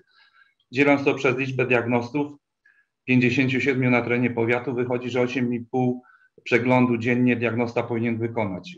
W przypadku podziału ilości tych przeglądów na 15 stacji kontroli pojazdów, to wychodzi średnio około 10 tysięcy przeglądów na każdą stację kontroli pojazdów, to daje 8,1 przeglądu na jednego diagnostę, zakładając, że stacji traktuje czterech diagnostów. W tej chwili jako mm, prowadzący nadzór nad stacjami kontroli pojazdów mamy uwagi dotyczące y, odpłatności za badania techniczne, mimo że starosta nie jest organem, który ma bezpośredni wpływ na kształtowanie tej opłaty. Y, właściwym w tym zakresie minister do spraw y, transportu. Jeśli weźmiemy pod uwagę, że w sektorze przedsiębiorstw z 2439 zł do 5840 wzrosły wynagrodzenia oraz wzrosły koszty badań technicznych o 31% od, do, od roku 2004, czyli od momentu, kiedy została ustalona ostatnia stawka. Dodatkowo legalizacja przyrządów kosztuje o 92% więcej. No, należy zrozumieć właścicieli stacji kontroli pojazdów, że wystosowali do Rzecznika Praw Obywatelskich apel o uregulowanie tej kwestii. Dlaczego to podkreślam, proszę Państwa? No dlatego, że starosta jako organ nadzorujący, mimo że nie ma wpływu na te stawki, jest żywotnie zainteresowany jakością badań technicznych. Zbyt mała stawka prowadzi do pośpiechu diagnosty, a to nie sprzyja wysokiej jakości badań. Na terenie Wydziału Obsługi Mieszkańców prowadzimy obsługę prowadzą obsługę również inne wydziały, architektura w zakresie przyjmowania wniosków na pozwolenia na budowę, na rozbiórkę, zgłaszanie robót budowlanych, sposobu użytkowania obiektów, sprawy dzienników budowy. W zakresie geodezji wydawane są wypisy, wyrysy oraz zgłaszanie zmian danych ewidencyjnych, obsługiwani są projektanci, wydawane są kopie map zasadniczych, ewidencyjnych i inne materiały z Powiatowego Zasobu Geodezyjnego obsługujemy również geodetów. Y, Wydział Obsługi, Wydział Budżetu i Finansów prowadzi obsługę kasową na terenie sali A. Usuwanie pojazdu w trybie artykułu 130 prawa o ruchu drogowym. Jest to zadanie o dużym stopniu skomplikowania oraz obejmującym szeroki zakres działań. Prowadzenie parkingu dla pojazdów usuniętych, przygotowanie wniosku i dokumentacji do sądu, procedurę likwidacji podjazdu, postanowienia w sprawie zwrotu kosztów podmiotom przechowującym pojazdy, decyzję o kosztach na właścicieli pojazdu, uchwałę w sprawie stawek za usunięcie i parkowanie pojazdów, z czym stawki za, te, za, te, za to holowanie i przechowywanie muszą być w sposób dokładny wyliczone, ponieważ sądy administracyjne w ostatnim orzecznictwie nie dopuszczają stosowania stawek maksymalnych. Na koniec 2021 roku mieliśmy 144 pojazdy na parkingu podmiotu, z którym powiat współpracuje w tym zakresie. Jest to spowodowane głównie tym, że od 2015 roku nastąpiła zmiana zasad usuwania. Nie mamy teraz tak zwanego zastępczego kierowcy, Dawniej było dopuszczalne, że jeżeli w samochodzie znajdował się ktoś, kto mógł odebrać pojazd i odjechać z nim z, z, miejsca, gdzie był zatrzymany, można było tego dokonać. Teraz w tej chwili nie można. E, druga sprawa to jest taka, że nastąpiło wydłużenie czasu od momentu usunięcia pojazdu do orzeczenia o jego przepadku na rzecz powiatu. Mamy dwa warianty procedury Y, usuwania pojazdów. Pierwszy bardzo prosty, wariant A. Y, samochód zostaje na dyspozycję policji czy Straży Miejskiej usunięty, po kilku dniach jest odebrany przez właściciela. Sprawa się kończy bardzo szybko. W przypadku wariantu B, gdzie y, pojazd nie jest odbierany przez właściciela, procedura, jak Państwo widzicie, trwa średnio w tej chwili 20,5 miesiąca. 13 miesięcy mniej więcej czekamy na od momentu przekazania do sądu wniosku o orzeczenie przypadku. Około 13 miesięcy czekamy na orzeczenie sądu o przypadku pojazdu na rzecz powiatu. Cała procedura wydłużyła się z około 12,5 miesiąca do 20,5 miesiąca.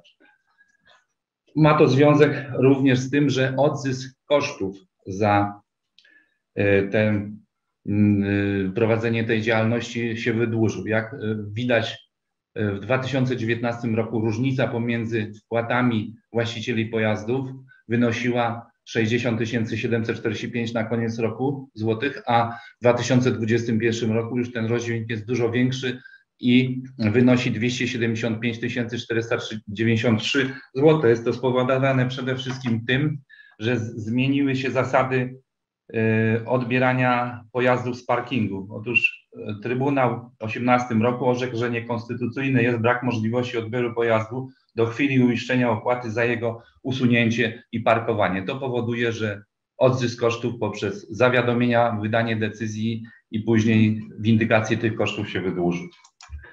Przechodzimy, proszę Państwa, teraz do filii. W naszych filiach w Nadarzynie, w Raszynie i w punkcie w Mochowie wykonujemy obsługę wyłącznie w zakresie rejestracji pojazdów i wydania uprawnień do kierowania pojazdami. W Młochowie obsługujemy wyłącznie firmy w zakresie rejestracji pojazdów. Przechodzimy do e, informacji dotyczących e, sprzętu, jakim dysponujemy i rozwiązań technicznych. Posiadamy poradnik interesanta, w którym udostępniamy klientom karty informacyjne o usługach, które zawierają wymagane dokumenty, opłaty, miejsce złożenia dokumentów, termin załatwienia sprawy, y, przedstawiają pracowników, którzy prowadzą te sprawy, tryb odwoławczy, podstawę prawną oraz formularze i z, tej, z tego miejsca można sobie te formularze pobrać. Przykład takiego formularza znajduje się w środku na tym slajdzie. Po prawej stronie wskazany jest ten sam wniosek Y, wzór wypełnionego wniosku. Klienci ten akurat sposób przedstawiania y, informacji dotyczących wypełniania wniosku bardzo sobie chwalą. System kolejkowy QMS y, umożliwia zarządzanie ruchem klientów, pozwala na internetową rezerwację wizyty na wybraną operację i wybrany termin, posiada aplikację mobilną, która umożliwia pobranie biletu poza urzędem. Oczywiście jest to możliwe no, w dużej, nie, niedużej odległości od urzędu. Wyżej po prawej stronie pokazane jest y, zdjęcie biletomatu.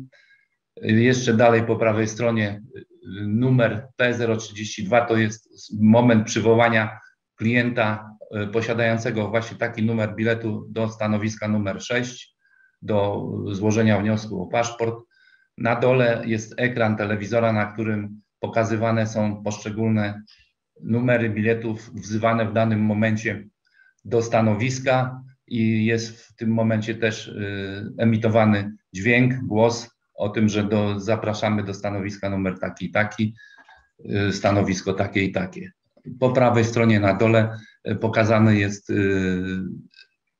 etykieta systemu kolejkowego rezerwacji wizyt, który jest dostępny na naszej stronie internetowej.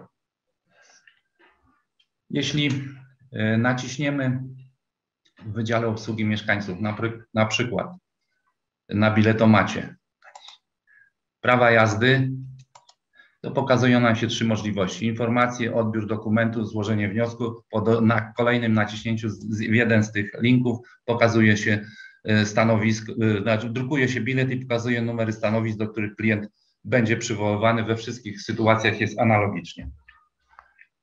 Ten slajd pokazuje, że możemy e, wprowadzić ustalanie kolejności operacji na stanowisku. Po co jest to potrzebne? No po to, żeby na przykład operacji o krótkim czasie można ustawić przed operacjami o czasie dłuższym, po to, żeby na przykład zmniejszyć liczbę y, klientów y, w, w danym momencie w salach obsługi. Pozwala to również na to, że jeżeli ktoś pobierając wcześniej, dwa czy trzy tygodnie wcześniej, bilet do operacji C do zarejestrowania pojazdu przychodzi do nas ponownie, aby odebrać tylko, odebrać dowód rejestracyjny, to chcielibyśmy jak najbardziej skrócić jego pobyt w urzędzie i wtedy y, ustawiamy inny priorytet na operację y, B, odbiór dowodu rejestracyjnego i taki klient jest wzywany wcześniej do stanowiska. Tu pokazane są trzy możliwości. Portal e-urząd, ePUAP oraz y, oddzielna aplikacja ESP PWPW. Jest to, są to narzędzia techniczne, którymi możemy przede wszystkim złożyć wnioski. Chciałbym tu podkreślić, że złożyć wnioski, ponieważ ze względu na obowiązujące przepisy prawne często do całkowitego załatwienia sprawy niezbędna jest wizyta klienta w urzędzie w celu dostarczenia choćby oryginałów dokumentów. Portal e-Urząd i elektroniczna platforma usług administracji publicznej ePUAP są połączone z naszym programem kancelaryjnym Intradoc. Tutaj mamy teraz slajd pokazujący liczbę dostępnych w starostwie rezerwacji internetowych. Tak jak widać na przykład w poniedziałki dostępnych jest 111 rezerwacji, z czego około 34 jest wykorzystywanych. Jest to średnia dla całego starostwa. Są operacje, które wykorzystywane są niemal w 100%, jak na przykład operacja C, rejestracja pojazdu używanego i operacja B, składanie wniosków paszportowych. Po co można by powiedzieć, Państwo zadacie pytanie, po co robimy takie analizy? Otóż po to, żeby właśnie orientować się w, w liczbie operacji, w liczbie rezerwacji, jaką byliśmy udostępnić, jednocześnie mamy też jakby y, z drugiej strony głowy informację taką, że nie można tych rezerwacji udostępnić zbyt dużo, bo trzeba sobie zdawać sprawę, że rezerwacja polega na tym, że klient przychodzi, klikuje sześciocyfrowy kod, pobiera bilet i jest przywoływany w pierwszej kolejności do stanowiska, które obsługuje jego, jego operację. Gdyby tych klientów było dużo, to ci, którzy przyszli umówieni do urzędu bez zamawiania wizyty, no byliby niezadowoleni, musieliby długo oczekiwać. Teraz sprawa związana z obostrzeniami covidowymi. Pierwsza sprawa to już musieliśmy ograniczyć liczbę osób przebywających w salach. W sali B do 10, w sali A do 14. Oczywiście dezynfekcja rąk, dezynfekcja rąk, sprawdzanie temperatury, zachowanie odstępu, wejście tylko w maseczce, w związku z tym w czasie pandemii musieliśmy e, w jakiś sposób sobie, sobie radzić. Otóż e, w tym pierwszym okresie pandemii przyjęliśmy zasadę przyjmowania do urzędu tylko klientów umówionych za pośrednictwem systemu kolejkowego, za pośrednictwem e, rezerwacji internetowych. Po lewej stronie te czerwone paski to są dostępne operacje w systemie kolejkowym QMS na stronie internetowej. Po prawej stronie u góry jest raport zbiorczy, w którym drukowaliśmy nazwę operacji, datę e, rezerwacji i godzinę oraz po prawej stronie dalej, to jest oczywiście ukryte, imię, nazwisko, adres klienta. Na podstawie tej listy sporządzane były raporty umówionych biletów. To, co jest na kolorowo zaznaczone niżej, to jest przykładowy raport sporządzony dla operacji w zakresie rejestracji pojazdu, który był przekazywany bezpośrednio na stanowiska. Na podstawie tego raportu klienci byli indywidualnie przez pracowników zapraszani przy drzwiach do konkretnego stanowiska na konkretną operację. Tu, proszę Państwa, informacja na temat liczby przyjmowanych klientów w okresie pandemii i przed pandemią. No, możecie Państwo być zaskoczeni, ale z tej informacji wynika, że w okresie pandemii y, przyjmowaliśmy więcej y, klientów niż przed pandemią. Weźmy dla przykładu rejestrację pojazdów. Jak Państwo widzicie, tylko 25 stycznia jest to w sposób inaczej zobrazowane, a w inne dni, y, jakby choćby w poniedziałek, mamy 195 klientów w rejestracji pojazdów, w trakcie COVID-u 190 przed pandemią. Jeszcze in, y, bardziej zróżnicowany wynik jest we wtorek, na przykład 174 osoby w okresie pandemii, 130 osób przed pandemią. Teraz jeśli by te dane porównać w okresie przed pandemią, w trakcie pandemii i po otwarciu urzędu, czyli po 28 czerwca 2021 roku, to najwięcej klientów, jak widać, obsługujemy po otwarciu urzędu. 2269 osób średnio tygodniowo, w poniedziałki na przykład 580 i co ciekawe, to w poniedziałki 389 obsługiwaliśmy w okresie pandemii, 345 przed pandemią. Tutaj jest przykład, proszę Państwa, jak dokonywaliśmy rezerwacji, planowaliśmy rezerwację wizyt. Otóż udostępnianie wizyt było dwuetapowe. Udostępnialiśmy podstawowe i dodatkowe terminy wizyt na najbardziej oblegane operacje, bo na niektóre można było te wizyty udostępnić w ruchu ciągłym i nic się z tym złego nie działo. W przypadku tych operacji deficytowych dostępne rezerwacje były na 40 dni do przodu, kilka dni i nie było wolnych terminów. Dla zachowania ciągłości rezerwacji oraz w celu umożliwienia rezerwacji kolejnym klientom wprowadzone terminy dodatkowe, dodawane w każdy poniedziałek w godzinach przedpołudniowych po analizie dostępnych rezerwacji i oczekiwanej frekwencji pracowników. Jak widać, to w poniedziałki było, jeśli chodzi o na przykład o wydawanie dowodów rejestracyjnych, 40 dostępnych wizyt. Jak Państwo widzicie, e, odstęp pomiędzy kolejnymi klientami to było 15 minut, 8, 8.15 to dawało 40 rezerwacji w poniedziałki. W każdy poniedziałek do tych podstawowych rezerwacji dodawaliśmy dodatkowe. Jak Państwo widzicie, te dodatkowe y, odstęp też 15 minut, początek nie o 8, tylko 8.05, następna wizyta 8.20, dawało to 39 i w sumie 79 y, możliwych odbiorów dowodów rejestracyjnych w poniedziałki tygodniowo.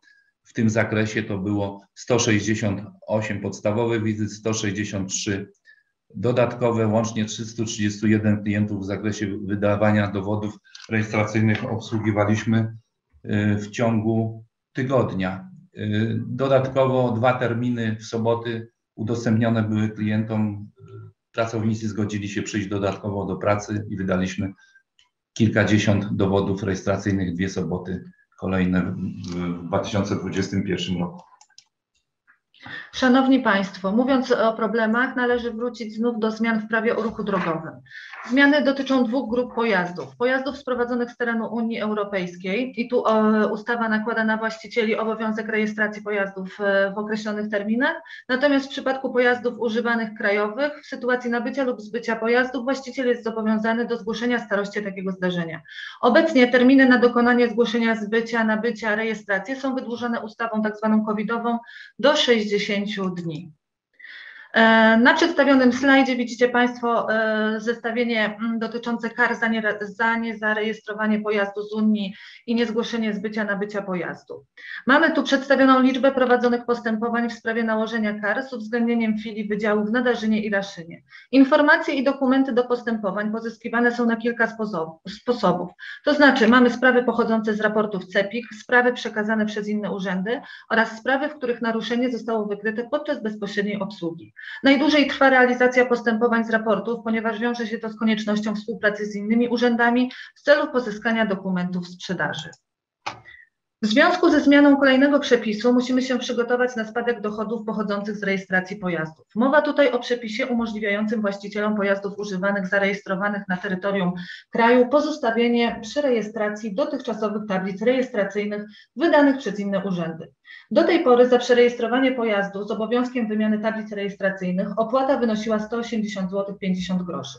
Teraz, pozostawiając dotychczasowe tablice, opłata wynosi odpowiednio 81 zł lub 67, w zależności od tego, czy wymagane będzie wydanie pozwolenia czasowego.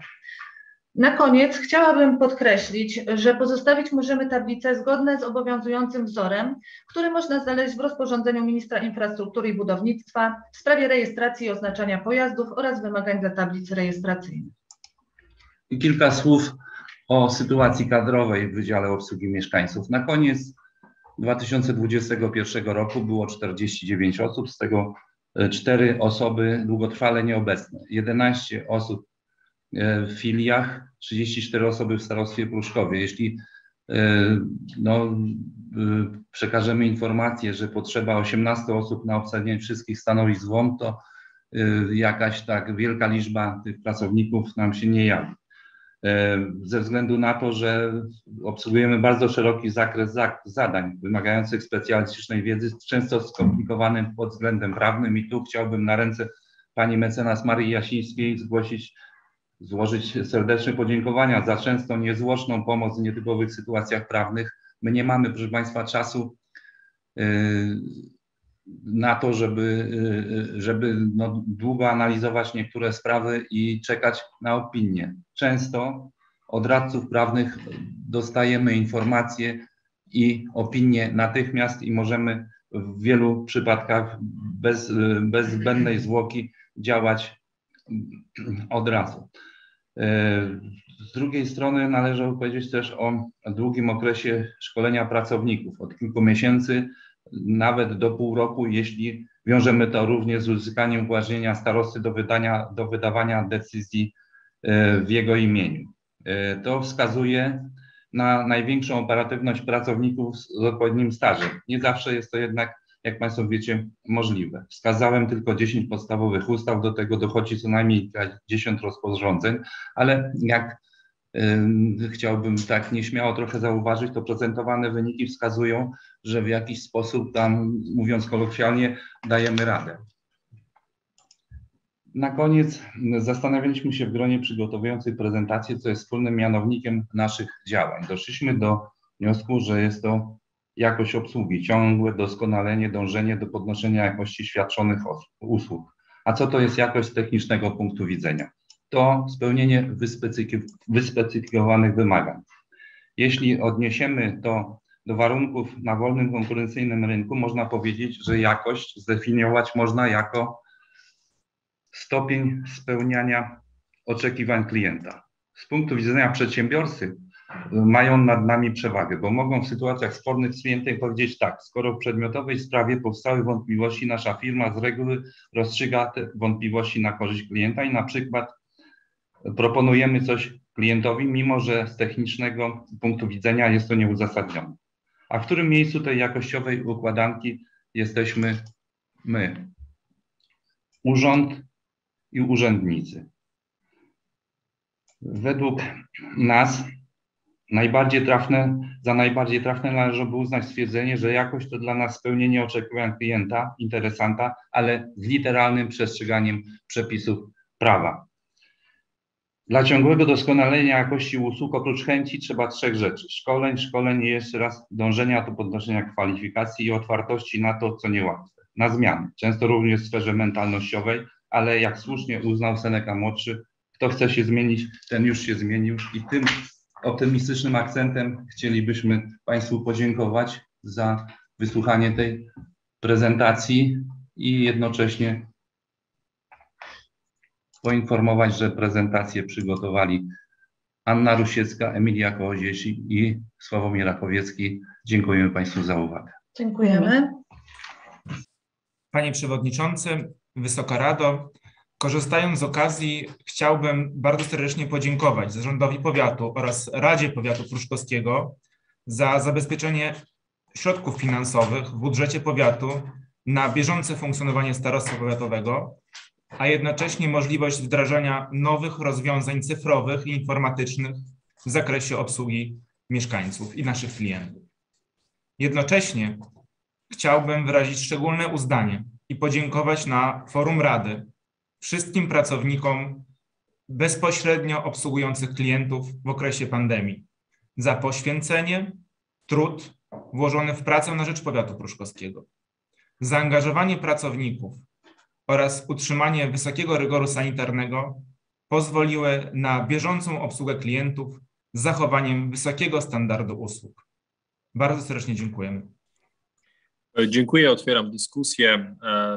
Zachęcam Państwa do zabierania głosu poprzez sesję. Kto z Państwa chciałby zabrać głos? Proszę bardzo, Pani Katarzyna Klimaszewska.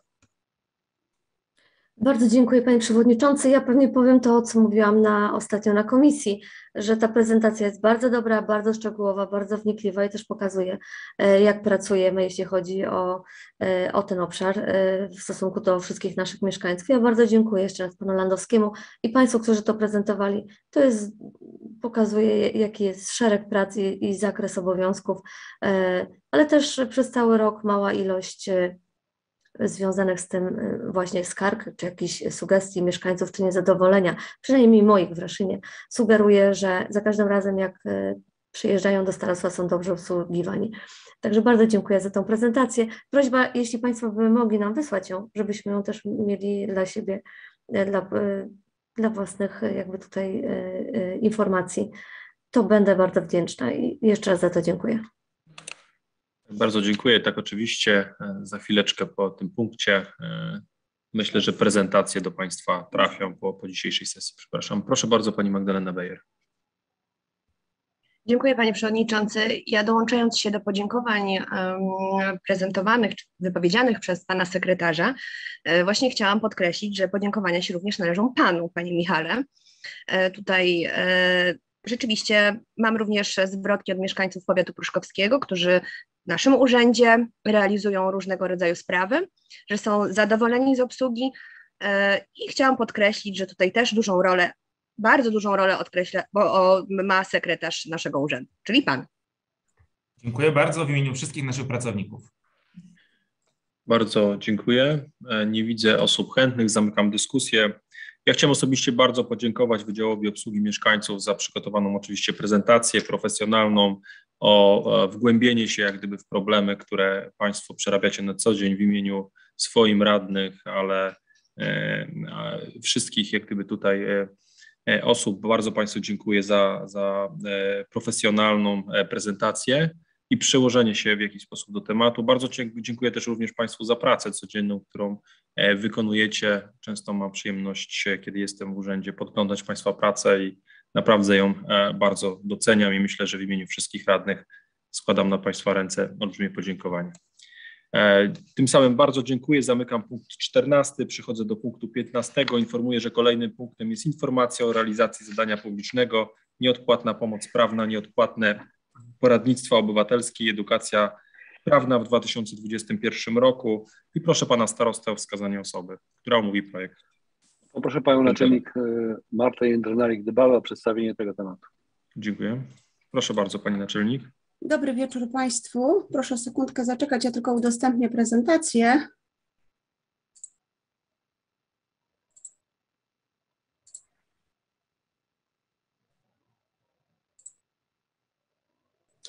Momencik, bo mi tutaj komputer psoci. Ja nie wiem, czy Państwo widzą to, co jest, wyświetla się w tej chwili na ekranie. Tak, widać. Dobrze. No ja niestety mam ten problem, że u mnie nie widać.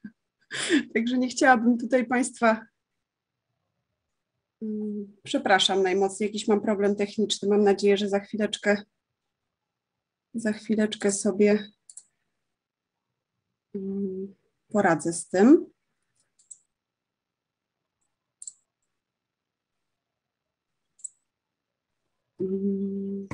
Jeszcze, jeszcze raz spróbuję wejść w to.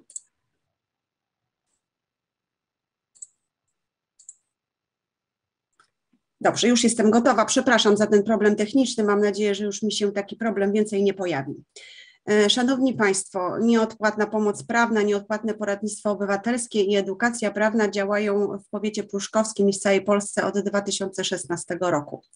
E, Porady przysługują e, osobom, które nie są w stanie pokryć kosztów nieodpłatnej pomocy prawnej, w tym osobom fizycznym prowadzącym jednoosobową działalność gospodarczą, ale nie zatrudniającym innych osób w ciągu ostatniego roku.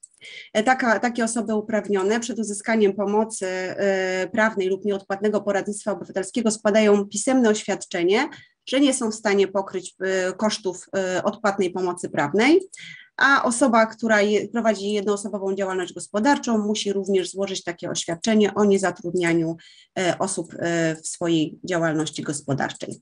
E, Podczas e, trwania pandemii ten obowiązek składania oświadczeń e, został zniesiony. E, W tej chwili prawnicy nie muszą przyjmować tego typu oświadczeń. Nie wiem, jak będzie w przyszłości. Na razie ministerstwo pracuje nad nową ustawą. Jeżeli chodzi o nieodpłatną pomoc prawną, nieodpłatne poradnictwo obywatelskie, mediację i edukację prawną, e, realizujemy to zadanie przy, przy pomocy trzech e, aktów prawnych. E, Pierwszy i najważniejszy dla nas to jest właśnie ustawa z 5 sierpnia 2015 roku o nieodpłatnej pomocy prawnej, nieodpłatnym poradnictwie obywatelskim oraz edukacji prawnej.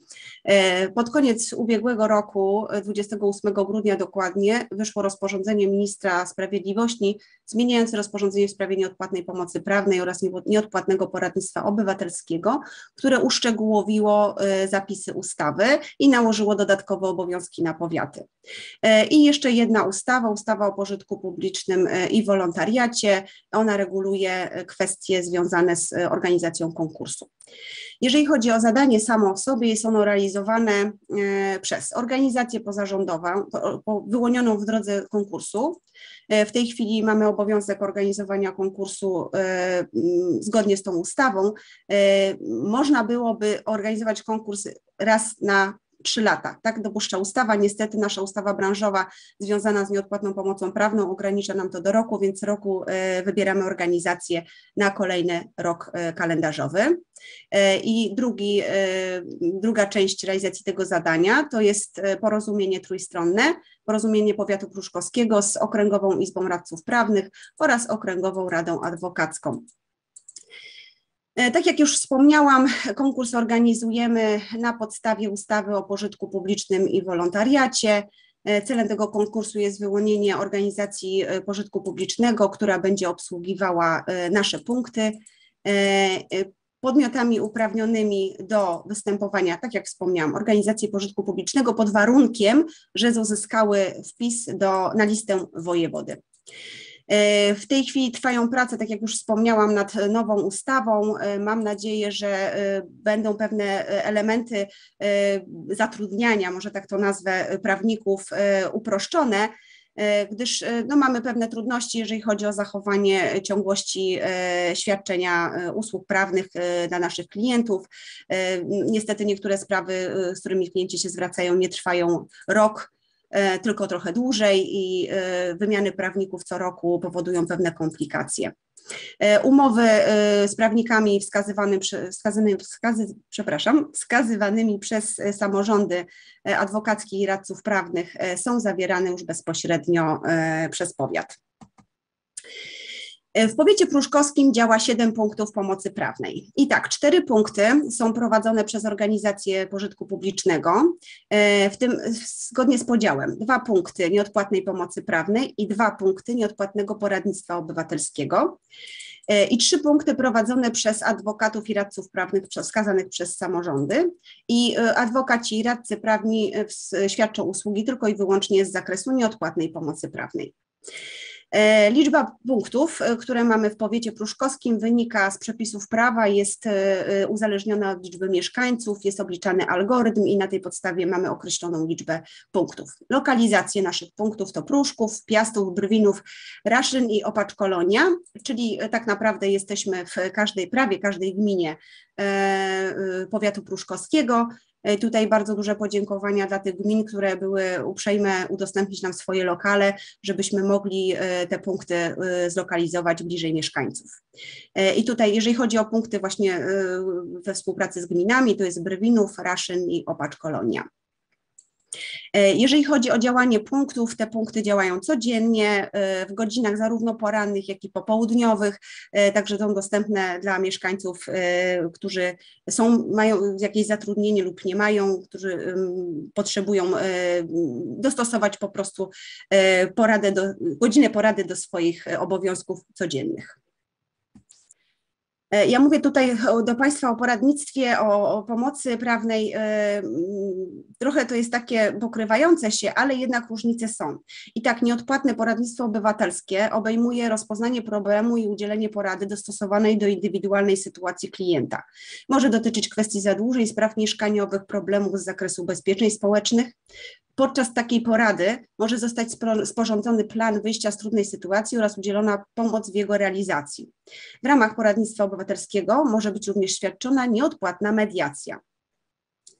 E, jeżeli chodzi o e, nieodpłatną pomoc prawną, e, obejmuje ona informowanie o obowiązującym stanie prawnym, przysługujących prawach lub obowiązkach, w tym w związku z toczącym się postępowaniem przygotowawczym, administracyjnym, sądowym lub sądowo-administracyjnym, wskazanie sposobu rozwiązania problemu prawnego.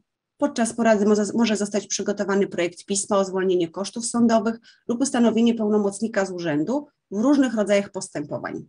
Z wyłączeniem pism procesowych w toczących się postępowaniach przygotowawczych lub sądowym e, i pism w toczących się postępowaniach sądowo-administracyjnych. Tych pism niestety naszym prawnikom e, mm, przygotowywać nie wolno, aczkolwiek wiem, że często e, idą na rękę naszym mieszkańcom i pomagają przynajmniej e, sięgać do właściwych wzorów. Jeżeli chodzi o nieodpłatną mediację, e, nie mamy dużego doświadczenia w tym zakresie, ponieważ w powiecie pruszkowskim nie mieliśmy jeszcze żadnej do tej pory mediacji. Nie było zainteresowanych osób tym sposobem rozwiązywania sporów. Niemniej jednak taka usługa jest dostępna w każdym punkcie. Jeżeli ktokolwiek byłby zainteresowany, mamy, y, mm, musimy zorganizować takie spotkanie. Ono trwa maksymalnie dwie godziny i y, wchodzi w dyżur konkretnego prawnika. Jest opłacane oczywiście z tych samych pieniędzy, o których zaraz będę mówić. I tutaj przechodzimy do kwestii finansowych.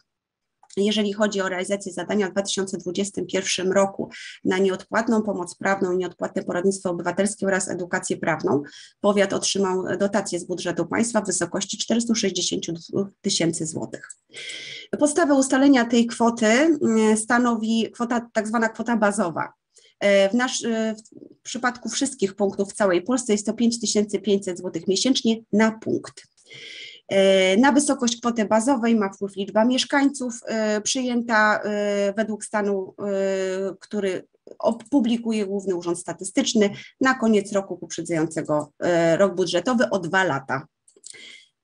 Jeżeli chodzi o podział środków, kwota 420 420 zł przeznaczona jest bezpośrednio na obsługę punktów e, nieodpłatnej pomocy prawnej i nieodpłatnego poradnictwa obywatelskiego.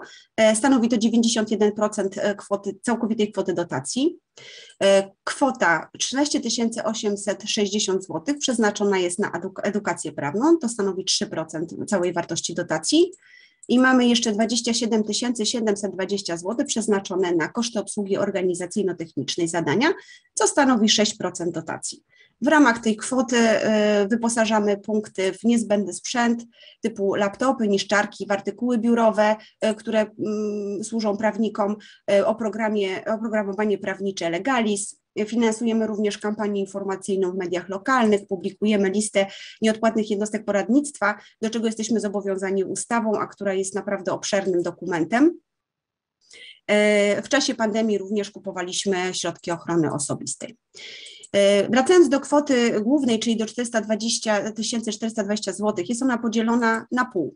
między organizację pozarządową i między prawników skazanych przez samorządy.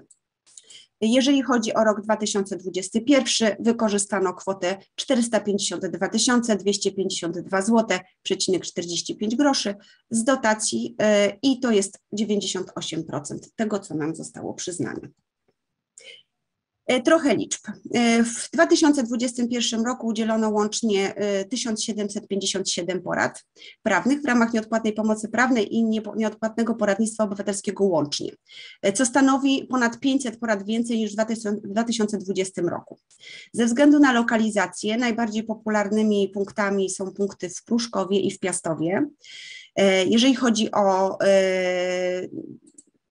wykształcenie. Y, najwięcej osób z wyższym i średnim wykształceniem korzysta z porad prawnych, a w kwestii grup wiekowych są to osoby między 35 a 55 rokiem życia oraz powyżej 65 roku życia.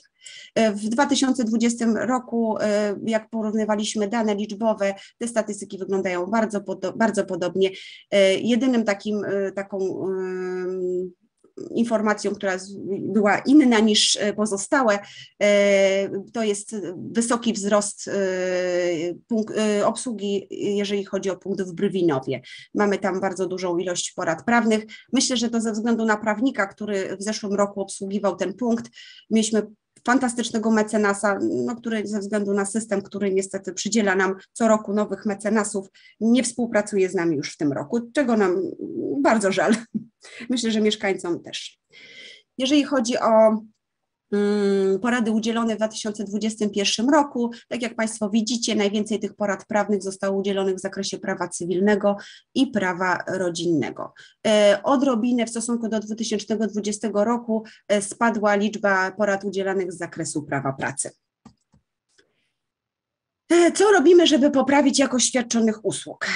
W 2022 roku, trochę wybiegam w przyszłość, e, został e, otwarty punkt e, specjalistyczny z zakresu prawa rodzinnego i opiekuńczego. Punkt jest ulokowany w Opaczy Kolonii. Mamy nadzieję troszeczkę uaktywnić ten punkt mocniej. Co to znaczy punkt specjalistyczny? Punkt specjalistyczny jest ukierunkowany na konkretną pomoc prawną i z danej konkretnej dziedziny, tak jak właśnie tutaj Państwo widzicie, a nie, Państwo nie widzicie, bo to nie ten slajd, przepraszam. Ok, to ja powiem. E, jeżeli chodzi o prawo opiekuńcze e, i prawo rodzinne, E, mamy specjalizację, mamy e, wyspecjalizowanych prawników w tym punkcie, którzy zajmują się tylko i wyłącznie e, tym zakresem i tam też staramy się kierować naszych klientów, którzy mają akurat problemy w tym zakresie. Mogą również korzystać z tej pomocy osoby spoza powiatu pruszkowskiego. Jest to punkt, który udziela porad prawnych dla osób z całej Polski. Jeszcze nie wiem, jak się będą kształtowały statystyki, pewnie opowiem o tym w przyszłym roku. E, jeżeli chodzi o usprawnienia, mm, mamy dedykowany numer telefonu, który jest tylko i wyłącznie przeznaczony do zapisów na porady prawne. Mamy również adres e-mailowy, też dedykowany tylko i wyłącznie do zapisów. E, przygotowujemy się w tej chwili do uruchomienia zapisów online e, bezpośrednio przez stronę ministerstwa, tak żeby dotrzeć do jeszcze większej liczby osób zainteresowanych. Staramy się również dopasowywać tematy wizyt klienta do specjalizacji prawnika. Jak podpisujemy umowy na koniec e, roku e, poprzedzającego kolejny rok budżetowy, staramy się zorientować, który prawnik specjalizuje się w jakiej dziedzinie e, i przy zapisie, przy krótkim wprowadzeniu przez klienta staramy się dopasować specjalizację do, do problemu, z którym klient przychodzi. E, zachęcamy również naszych e, mieszkańców do tego, żeby dzielili się z nami swoimi opiniami. E, w zeszłym roku wprowadziliśmy badanie satysfakcji klienta w postaci ankiet telefonicznych i tak jak Państwo widzicie teraz już na slajdzie, 98% respondentów było zadowolonych z, z porad prawnych, czyli zrozumiało to, co zostało im przekazane. E, a także e, zrozumiało dalsze kroki, które muszą podjąć e, w ramach swojego problemu. Rekomendacje mieszkańców były takie, żeby zwiększyć promocję, no i specjalizacja prawników, do czego, do czego nieustająco dążymy. Jeżeli chodzi o czas pandemii, staraliśmy się e, oczywiście jak najdłużej utrzymać bezpośrednią obsługę klienta. E, w pewnym momencie jednak przeszliśmy na system tak zwany hybrydowy e, i udzielaliśmy, prawnicy udzielali porad prawnych poprzez środki porozumiewania się na odległość. Jest też taka możliwość, że osobom, które mają trudności w poruszaniu się, możemy zorganizować wizytę w miejscu zamieszkania lub w, innym, w innej dogodnej dla niego lokalizacji. Wtedy prawnik przyjeżdża na miejsce. E, Kontrolujemy pracę naszych prawników i doradców obywatelskich poprzez monitoring logowania do centralnego systemu teleinformatycznego e, oraz poprzez kontrolę bezpośrednio w punkcie. Wprowadziliśmy również limit zastępstw do poziomu 20% czasu pracy miesięcznie e, żeby zachować ciągłość świadczonych usług. Tutaj mieliśmy taki problem, bo może to być niezrozumiałe, mieliśmy taki problem, że nasi mecenasi ze względu na dużą ilość obowiązków różnych, między innymi sprawy w sądzie, czasami zastępowali się swoimi aplikantami. E, Mieszkańcy nie są zbyt zadowoleni z takiego rozwiązania, staramy się unikać tego typu rozwiązań, dlatego właśnie wprowadzono zapis, taki zapis do umowy. E, Tak jak już wspomniałam, e, problemem organizacyjnym dla nas z punktu widzenia Biura Zarządu e, i Starostwa jest ta rotacja, coroczna rotacja prawników. Nie mamy narzędzia, żeby zachować tych, którzy naprawdę, z których naprawdę mieszkańcy są zadowoleni, którzy się angażują w swoje działania, którzy wychodzą nawet poza troszeczkę poza zakres samej ustawy. I kolejnym e, z naszego punktu widzenia problemem jest to, że ta liczba punktów jest za duża w stosunku do e, liczby mieszkańców liczby korzystających z tej pomocy. Ja mam, mam nadzieję, że to się będzie zmieniać. E, Niemniej jednak uważam, że punkty są w tej chwili e, niewykorzystywane, jeżeli chodzi o swój potencjał. E, Wiem, że trwają prace, tak jak mówiłam, nad nową ustawą. Mam nadzieję, że ten przelicznik może będzie troszeczkę inny, może będziemy my mogli troszeczkę bardziej wpływać na decyzję, ile tych punktów rzeczywiście potrzebujemy na naszym terenie. Jeżeli chodzi o edukację prawną, w zeszłym roku zorganizowanych zostało sześć prelekcji dla uczniów szkół średnich oraz uczniów zespołu szkół specjalnych e, imienia e, księdza Jana Twardowskiego. I to były prelekcje z zakresu odpowiedzialności prawnej nieletnich, z zakresu mediacji, odpowiedzialności cywilnej i karnej za zniesławienie oraz zniewagę w internecie, z zakresu zasad odpowiedzialności cywilnej i karnej nieletnich oraz e, z podstaw prawa. E, Opublikowaliśmy również e, krótki e, spot promujący e, nasze porady prawne na naszym, e, prezentowany jest filmik na YouTubie, ale na naszym Facebooku powiatowym. E, Dalsza ciąg, dalszy ciąg edukacji prawnej to są publikacje. E, I tak w 2021 roku wydaliśmy e, 1000 informatorów e, prawnych, 50 plakatów i 1000 ulotek informacyjnych i 840 sztuk poradników e, w prezentowanych tutaj zakresach, czyli w prawa administracyjnego, cywilnego, karnego, pracy rodzinnego, prawa ubezpieczeń społecznych, zawody prawnicze w Polsce oraz kredyty frankowe i prawo konsumenckie. Staramy się, żeby te tematy tych e, poradników były dostosowane do potrzeb mieszkańców, a dystrybucję prowadzimy przez, e, dzięki uprzejmości urzędów gmin, e, poprzez nasze punkty poradnictwa i pomocy prawnej oraz przez Wydział Obsługi Mieszkańców. E, Ja na tym zakończę. Dziękuję Państwu za uwagę. Jeżeli są jakiekolwiek pytania, z przyjemnością odpowiem. Bardzo dziękuję Pani Naczelnik. Otwieram dyskusję. Kto z Państwa chciałby zabrać głos? Jeśli można, e, ja chciałbym podziękować za prezentację. Myślę, że program e, nieodpłatnego doradztwa prawnego to jest, e, to jest w skali kraju duży sukces. Cieszę się, że również od mieszkańców powiatu słyszę, iż porady udzielane są satysfakcjonujące, choć oczywiście sytuacje są złożone, ale w każdym bądź razie radcy prawni i adwokaci wspierają naszych mieszkańców. Mam pytanie dotyczące e, średniej długości e, porady prawnej. Czy e, moglibyśmy usłyszeć taką, e, taką informację, jaka była, jaka jest, jeśli Państwo to mierzą, jaki jest średni czas takiej porady prawnej dla jednej osoby? Dziękuję. Nie jesteśmy w stanie zmierzyć tej prawnej, ponieważ musielibyśmy e, tutaj prawników obciążyć takim zadaniem. Natomiast każda porada jest obliczona na godzinę. Jeżeli zachodzi taka potrzeba, że e, klient potrzebuje e, wydłużyć ten czas, jeszcze nie miałam takiego zgłoszenia, żeby którykolwiek prawnik odmówił.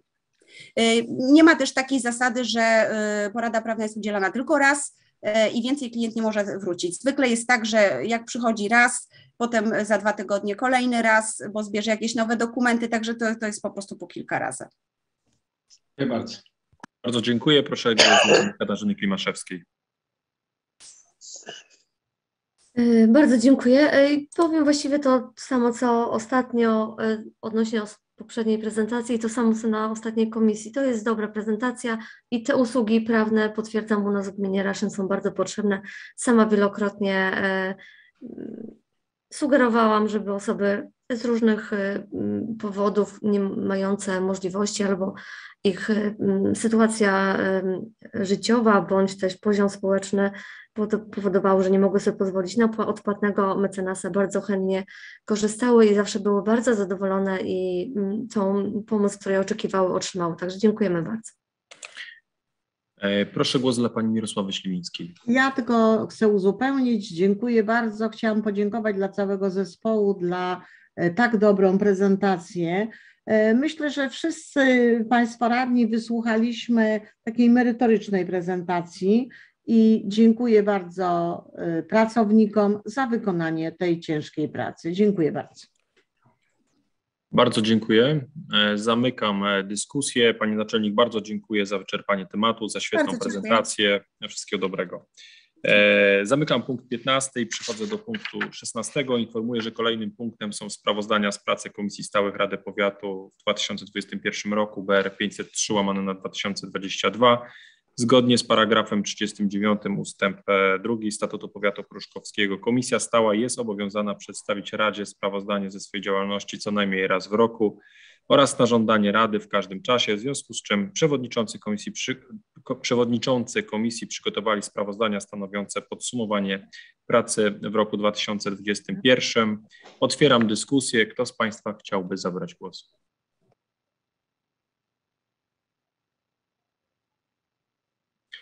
Nie widzę, nie słyszę, zamykam dyskusję, zamykam punkt trze- 16 i przechodzimy do punktu 17. Informuję, że kolejnym punktem jest sprawozdanie Komisji Rewizyjnej z realizacji rocznego planu kontroli oraz wyników kontroli zleconej przez Radę BR 504 łamane na 2022. Proszę pana Mariusza Baranowskiego, przewodniczącego Komisji Rewizyjnej o omówienie sprawozdania. Dziękuję bardzo, panie przewodniczący. Pozwolę sobie przeczytać sprawozdanie z działalności Komisji Rewizyjnej Rady Powiatu Pruszkowskiego w roku 2021. Komisja pracowała w składzie przewodniczący Artur Świercz do 30 czerwca 2021 roku, przewodniczący Mariusz Baranowski od 30 czerwca 2021 roku, wiceprzewodnicząca Mirosława Śliwińska, sekretarz Dorota Zglińska, członek Przemysław Sieciński, członek Monika Sawicka.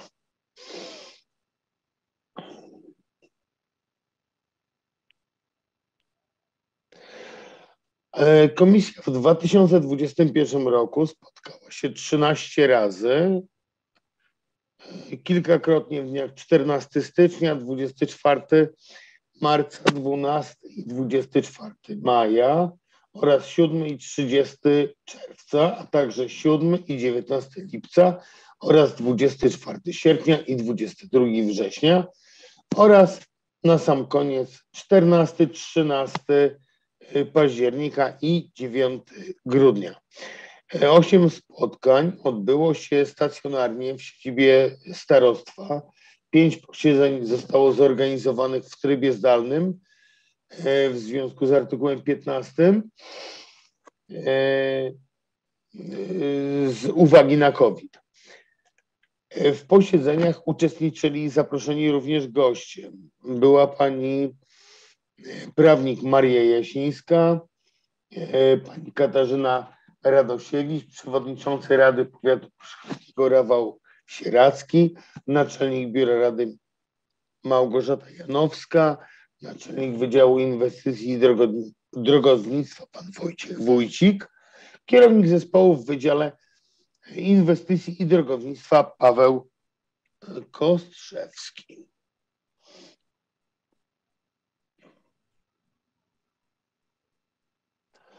E, Podczas prac członkowie komisji wykonywali także e, prace indywidualne, analizując dokumentację, czyli gdzieś tam spotykaliśmy się, znaczy inaczej, spotykali się członkowie komisji w biurze rady, analizując dokumentację. W wybranych zespołach kontrolnych w trakcie sporządzania wniosku o absolutorium. W, w trakcie roku 2021 przedmiotami spotkań komisji były tematy um, zawarte w planie pracy zgodnie z uchwałą Rady Powiatu Pruszkowskiego, e, które przeprowadzono kontrolą dostępności przychodni rejonowej numer 1 dla mieszkańców powiatu pruszkowskiego. Odbyła się również rekontrola realizacji zaleceń audytu e, dla mieszkańców powiatu pruszkowskiego, e, jak również został wypracowany wniosek w sprawie udzielenia absolutorium zarządowi powiatu pruszkowskiego za rok 2020.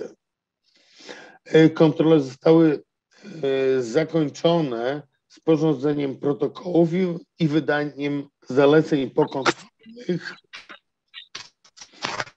dyrektorem komórek e,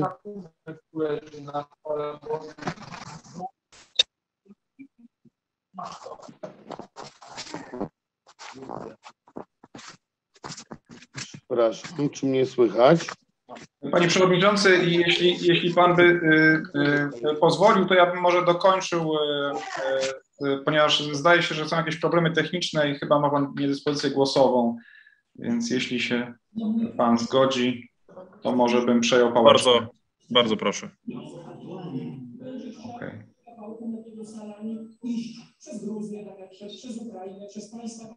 E, więc, Szanowni Państwo, w trakcie roku 2021 przedmiotami spotkań komisji były tematy zawarte w planie pracy. Zgodnie z uchwałą Rady Powiatu Pruszkowskiego z dnia 22 grudnia 2020, na mocy której przeprowadzono kontrolę dostępności przychodni e, rejonowej numer 1 dla mieszkańców powiatu pruszkowskiego. I tak jak e, pan przewodniczący powiedział, odbyła się rekontrola E, w zakresie realizacji zaleceń w Międzyszkolnym Ośrodku Sportowym w Pruszkowie oraz wypracowane zostało stanowisko i wniosek w sprawie udzielenia absolutorium zarządowi powiatu pruszkowskiego za 2020 rok. Kontrole zakończone zostały sporządzeniem protokołów i wydaniem zaleceń pokontrolnych dyrektorom kontrolowanych jednostek.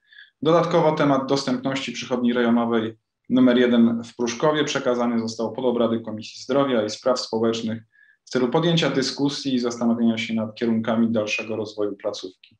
Ponadto członkowie komisji e, zrealizowali dwie kontrole zlecone przez Radę Powiatu. W dniach 19 kwietnia, 13 października 2021 przeprowadzona została kontrola inwestycji budowy specjalnego ośrodka szkolno-wychowawczego przy ulicy Wapiennej 2 w Pruszkowie w zakresie prawidłowości prowadzenia inwestycji.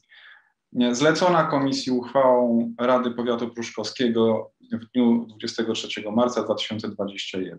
Po zakończeniu kontroli sporządzono protokół i wydano zalecenia pokontrolne, których realizację komisja zamierza sprawdzić w trzecim kwartale roku 2022. Z kolei w dniach 30, 30 czerwca 24 sierpnia 2021 członkowie komisji przeprowadzili kontrolę w zakresie legalności sprawowania mandatu przez radnego, która została zlecona uchwałą Rady Powiatu Pruszkowskiego z dnia 22 czerwca 2021. Na zakończenie kontroli wypracowany został projekt uchwały w sprawie odmowy wygaśnięcia mandatu radnego, przekazany pod obrady Rady Powiatu Pruszkowskiego w dniu 7 września 2021. E, to wszystko. Dziękuję bardzo. Bardzo dziękuję. Otwieram dyskusję. Czy ktoś z Państwa chciałby zabrać głos? Panie Przemku, bardzo dziękuję za wsparcie. Proszę bardzo, Pani Magdalena Bajer. E, dziękuję Panie Przewodniczący. Ja mam pytanie do Pana Przewodniczącego e, Komisji Rewizyjnej, bo mm, z tego co słyszałam, powiedział Pan, że gdzieś tam się Państwo spotykaliście. Chciała konkretnie, e, konkretną informację, gdzie się spotykała Komisja Rewizyjna. Dziękuję. Czy mogę? Proszę, oczywiście. Y, y, spot, spotykaliśmy, mieliśmy spotkanie przy ulicy Wapiennej w budynku. To był sierpień 2021. I to chyba było takie jedyne spotkanie. Nie, jeszcze było spotkanie wyjazdowe, ale już na tą chwilę nie potrafię y, powiedzieć daty, y, kiedy, była, kiedy była to y, taka wyjazdowa, wyjazdowa komisja. Natomiast komisja przy ulicy Wapiennej była w sierpniu, około 20-21 sierpnia. Dziękuję panie przewodniczący. Bardzo dziękuję pani Mirosława Śliwińska. Szanowni Państwo, ponieważ jestem członkiem tej komisji, poczułam się wywołana do głosu. Komisja oczywiście spotykała się e, w starostwie powiatowym, e, ponieważ, e, proszę Państwa, był COVID, jest COVID, był COVID, nie wiem. W związku z tym było trochę problemów, jeśli chodzi o pracę w terenie to myślę, że każda komisja miała i wszyscy mieli.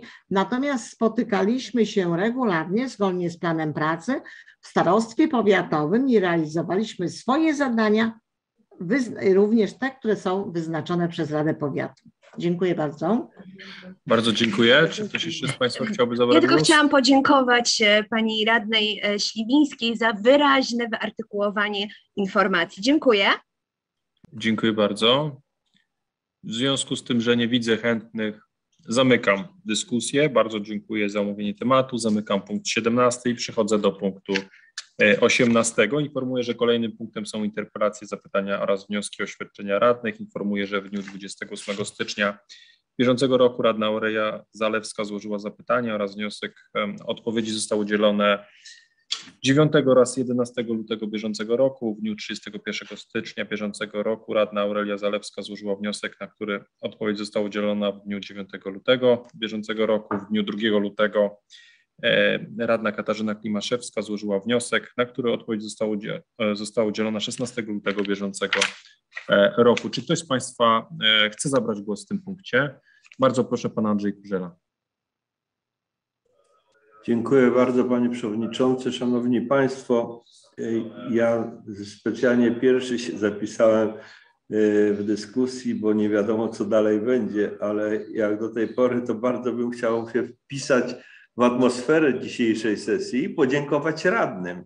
Podziękować radnym za atmosferę dzisiejszej sesji, bo z przyjemnością w niej myślę wszyscy uczestniczyliśmy.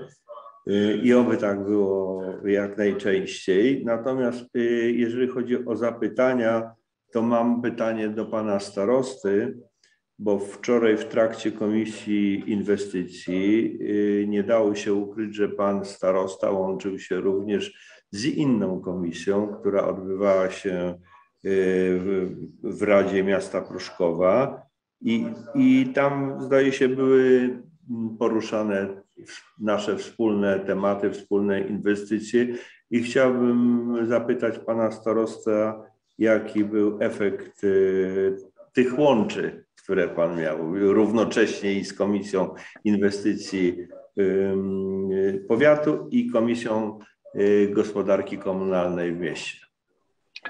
E, panie Przewodniczący, Wysoka Rado, bardzo dziękuję panu radnemu Andrzejowi Kurzeli za to pytanie. E, chciałem przeprosić Państwa za pewnego rodzaju niedyspozycję, ale myślę, że cały zarząd, który uczestniczył w komisji, spisał się na medal. Natomiast ja uczestniczyłem w komisji e, inwestycji Rady Miasta, ponieważ rozpatrywany był, opiniowany był wniosek e, Rady Powiatu Pruszkowskiego o dofinansowanie inwestycji przy ulicy Sienkiewicza w wysokości 2,7 miliona złotych i większością głosów e, komisja pozytywnie zaopiniowała ten wniosek. W najbliższy czwartek będzie sesja e, miasta Pruszkowa, na której będzie rozpatrowany ten wniosek i będzie głosowana uchwała w tej sprawie. E, no mamy nadzieję, że, że wynik będzie podobny jak na, jak na komisji, co pozwoli nam uruchomić te inwestycje. Dziękuję bardzo. Bardzo dziękuję. Proszę głos dla pani Magdaleny Bejer. Dziękuję panie przewodniczący. E, panie przewodniczący, Ja chciałam w imieniu klubu radnych Prawo i Sprawiedliwość w dobie tego, co się dzieje obecnie, e, można powiedzieć, e, na świecie, wyrazić pełną solidarność z narodem ukraińskim w sytuacji ataku Rosji na ich suwerenność. Przede wszystkim dziękuję polskiemu rządowi za adekwatne działania. Dzięki nam, Polsce, Zachód częściowo, niestety na razie, otworzył oczy i otwiera oczy na agresora, jakim jest Rosja Putina. Dziękuję rządowi polskiemu w dobie tego, co się dzieje, za obronę polskiej granicy z Białorusią, która jest również granicą Unii Europejskiej i NATO. Dziękuję Wojsku Polskiemu. Dziękuję również Policji Polskiej, Wojskom Obrony Terytorialnej. Jakże ważne i aktualne są do tej pory, do dnia dzisiejszego, e, słowa świętej pamięci profesora prezydenta Rzeczpospolitej Polskiej Lecha Kaczyńskiego, który przy okazji ataku na Gruzję przez Rosję powiedział właśnie bardzo ważne słowa. Jednak w tym wszystkim, niestety, ale muszę i bardzo proszę i apeluję do polskiej, niestety polskiej, hmm, totalnej opozycji, na czele z panem Borysem Budką i panią Gasiuk-Pichowicz, którzy w dniu wczorajszym, gdzie miał atak miejsce na terytorium Ukrainy, spotkając się z przedstawicielami Polskiego e, Parlamentu Europejskiego, atakowali Polskę, wojska obrony terytorialnej. My wszyscy tutaj, obywatele Polski, ale także innych krajów, stoimy w obliczu agresji i patrzymy z napięciem, co się dalej dzieje i reagujemy na tą inwazję rosyjskich czołgów. A niestety przedstawiciele opozycji totalnej, przede wszystkim Platformy Obywatelskiej, atakują Polskę. Jest to wstyd i żenada i bardzo proszę, żeby tego nie robić. Także jeszcze raz mówię, Klub Radnych Prawa i Sprawiedliwości bardzo solidaryzuje się z narodem ukraińskim. Dziękuję. Dziękuję. Pan Grzegorz Kamiński, bardzo proszę. Ja chciałem się tylko odnieść ad vocem do wypowiedzi pani radnej Magdaleny Bejer. Wydaje mi się, że w tym oświadczeniu zabrakło e, odniesienia się do stwierdzenia, że ktoś kiedyś e, z przedstawicieli Prawa i Sprawiedliwości chciał zrobić w Warszawie Budapeszt. Z tego co wiem, Węgrzy jako jedyni w Europie tak naprawdę nie poparli sankcji wobec Rosji, która zaatakowała Ukrainę. Więc wydaje mi się, że Państwa oświadczenie jest naprawdę no, schizofreniczne. Ja przynajmniej tego nie rozumiem. Dziękuję bardzo. Dziękuję. Szanowni Państwo, apeluję, aby nie rozkręcać tutaj afery międzynarodowej lub ewentualnie dyskusji międzynarodowej. Oczywiście przyjmuję Państwa oświadczenia, udzielam dalej głosu, ale proszę o wygaszenie tej, tej dyskusji. Proszę bardzo, Pani Magdalena Bejer. Panie Przewodniczący, ja tylko jedno zdanie, bo um, nie interesuje mnie zdaniem Pana Grzegorza Kamińskiego. Moje oświadczenie było moim oświadczeniem. Każdy ma prawo do własnej opinii.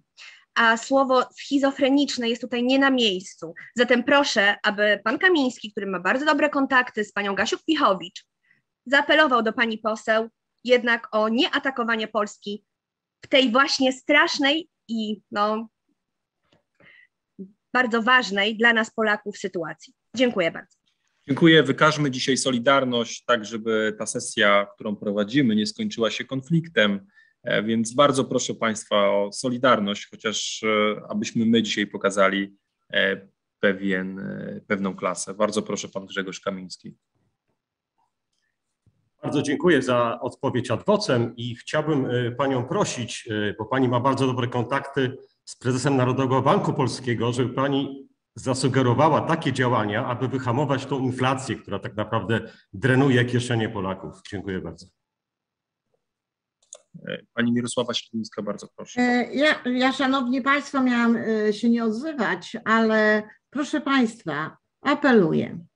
Mamy pewien konflikt w tej chwili bardzo ważny, jeśli chodzi na poziomie państwa polskiego. Naprawdę, nie irytujmy się i nie róbmy teraz przepychanek, e, kto, gdzie, komu. Przepraszam bardzo. Bądźmy ponad wszystko mamy jakiś poziom wykształcenia, jakąś kulturę, może nam się różne rzeczy nie podobać. Natomiast jeżeli ktoś składa oświadczenie, uszanujmy to i przestańmy bawić się e, w jakieś relacje takie, które nas różnią, bo każdy z nas ma prawo do swojego zdania, do swoich myśli. Nie wszyscy jesteśmy gdzieś tam po jednej stronie, natomiast naprawdę tracimy czas, proszę Państwa, a tracimy czas nie tylko nasz, ale mieszkańców. Naprawdę. Apeluję, abyśmy przestali bawić się to, co Pan Przewodniczący wcześniej powiedział. Mamy prawo do składania pewnych oświadczeń, składajmy je, natomiast nie irytujmy się i nie bawmy się w taką zabawę w piaskownicy. Przepraszam bardzo, ale takie jest moje zdanie. Dziękuję E, bardzo. Dziękuję bardzo. Składajmy oświadczenia i nie atakujmy się, bardzo proszę. Czy mogę prosić, aby pani Magdalena i pan, pan Grzegorz tutaj wygasili jak gdyby tą dyskusję? Proszę bardzo, pani Magdalena. Moje oświadczenie było moim autorstw, mojego autorstwa. Ma, mogłam w nim wyrazić to, co wyraziłam. Złożyłam również apel, bo jest to dla mnie bardzo ważna sytuacja, bardzo, y, którą się bardzo przejmuję. Myślę, że jak każdy, o nasz obywatel i nie tylko. Natomiast wycieczki do prezesa Narodowego Banku Polskiego w stosunku do mnie są nie na miejscu i nie życzę sobie tego typu uwag. Dziękuję. Bardzo dziękuję, pan Grzegorz Kamiński. Chciałem tylko powiedzieć, że moje krótkie oświadczenie również było mojego autorstwa. I również sobie nie życzę z Pani strony wycieczek w moim kierunku w stosunku do posłów Platformy Obywatelskiej. Dziękuję bardzo. Bardzo dziękuję. E, Pani Katarzyna Klimaszewska. Bardzo dziękuję za możliwość zabrania głosu. Ja, drodzy Państwo, chciałabym e, przeczytać e, dokument, jaki wpłynął do powiatu pruszkowskiego od radnego gminy Raszyn, przewodniczącego Komisji Rolnictwa, Ochrony Środowiska i Porządku Publicznego, a także wiceprzewodniczącego Rady Gminy Raszyn, pana Jarosława Aronowskiego. Prośba o wysłuchanie. Szanowny Panie Starosto, Decyzją nr 149 2021 roku z dnia 26 kwietnia 2021 rozwiązał Pan Gminną Spółkę Wodną Raszyn z siedzibą Wiaroworowej, wyznaczając jednocześnie na jej likwidatora Pana Jacka Wiśniewskiego. Jako przewodniczący Komisji Rolnictwa, Ochrony Środowiska i Porządku Publicznego Rady Gminy Raszyn zwracam się z prośbą o pierwsze Przedłożenie za moim pośrednictwem członkom komisji oraz pozostałym radnym sprawozdania z działań likwidatora Gminnej Spółki Wodnej Raszyn za rok 2021. W dniu 15 lutego 2022 pan Jacek Wiśniewski obiecał dostarczyć takie sprawozdanie radnym na początku kolejnego tygodnia, nawet jak nie zostanie ono przez pana starostą przyjęte. Niestety do dnia dzisiejszego tego sprawozdania nie otrzymaliśmy. Drugie, czy w związku z treścią pańskiej decyzji przedstawionej przedstawiono powyżej. Punkt pierwszy. Rozwiązuje się spółkę wodną, gminna spółka wodna Raszyn z siedzibą Biaworowej. Likwidator ma za zadanie jedynie zlikwidowanie wyżej wymienionej spółki, czy też ma prawo doprowadzić do wznowienia jej działalności. Trzecie, czy w związku z faktem, że w decyzji likwiduje Pan wyżej wymienioną spółkę, likwidator ma prawo zwoływać zebrania członków, podejmować na nich decyzje inne niż związane z likwidacją spółki, przykład ściąganiem długów i spłatą wierzycieli. Z tego, co zostało nam przekazane, podjęto przykład decyzję o zwiększeniu składki członkowskiej. Czwarte, w jaki sposób likwidator zdobył bazę e, osobową członków spółki, skoro poprzedni zarząd oraz zarząd komisaryczny takiej bazy nie posiadał i nie był w stanie pozyskać, albowiem nie została ona przekazana wraz z laptopem, na którym się znajdowała przez zarząd i któremu przewodniczył wtedy pan prezes Iwanicki. Piąte, czy wobec braku przejęcia bazy osobowej spółki od poprzednich zarządców jakakolwiek pisma do członków spółki mają moc prawną? Pan Jacek Wiśniewski, będąc gościem na posiedzeniu Komisji Rolnictwa, Ochrony Środowiska Porządku Publicznego w dniu 15 lutym bieżącego roku, przedstawił raczej wizję, że spółka wodna wznowi działalność. Mówi też o wykonywaniu kolejnych zadań, co przy braku środków na koncie i braku możliwości pozyskiwania dotacji w obecnej sytuacji prawnej, chociażby z gminy Raszyn, wydaje się dość dziwne. Poprzedni zarząd oraz zarząd komisaryczny utrzymywał, że konto spółki wodnej jest zablokowane przez ZUS na skutek długów tej instytucji. Tymczasem pan Jacek Wiśniewski stwierdził, że tak nie jest i nie może prowadzić i że może prowadzić działalność.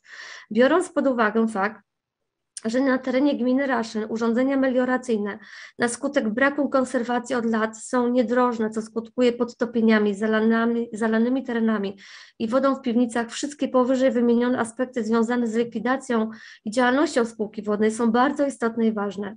Na dziś Rada Gminy ma bowiem związane ręce. Nie ma podmiotu, któremu można by było przekazać dotacje. Gmina zaś nie może wykonywać żadnych działań na terenach prywatnych.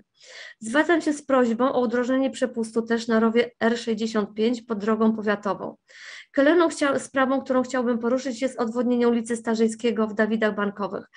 E, już nie będę czytać o sprawie e, odwodnienia ulicy Starzyńskiego, to będzie w ciągu dalszym tego pisma, które Państwo, mam nadzieję, dostaną, a jak nie, to za moim pośrednictwem Państwu prześlę.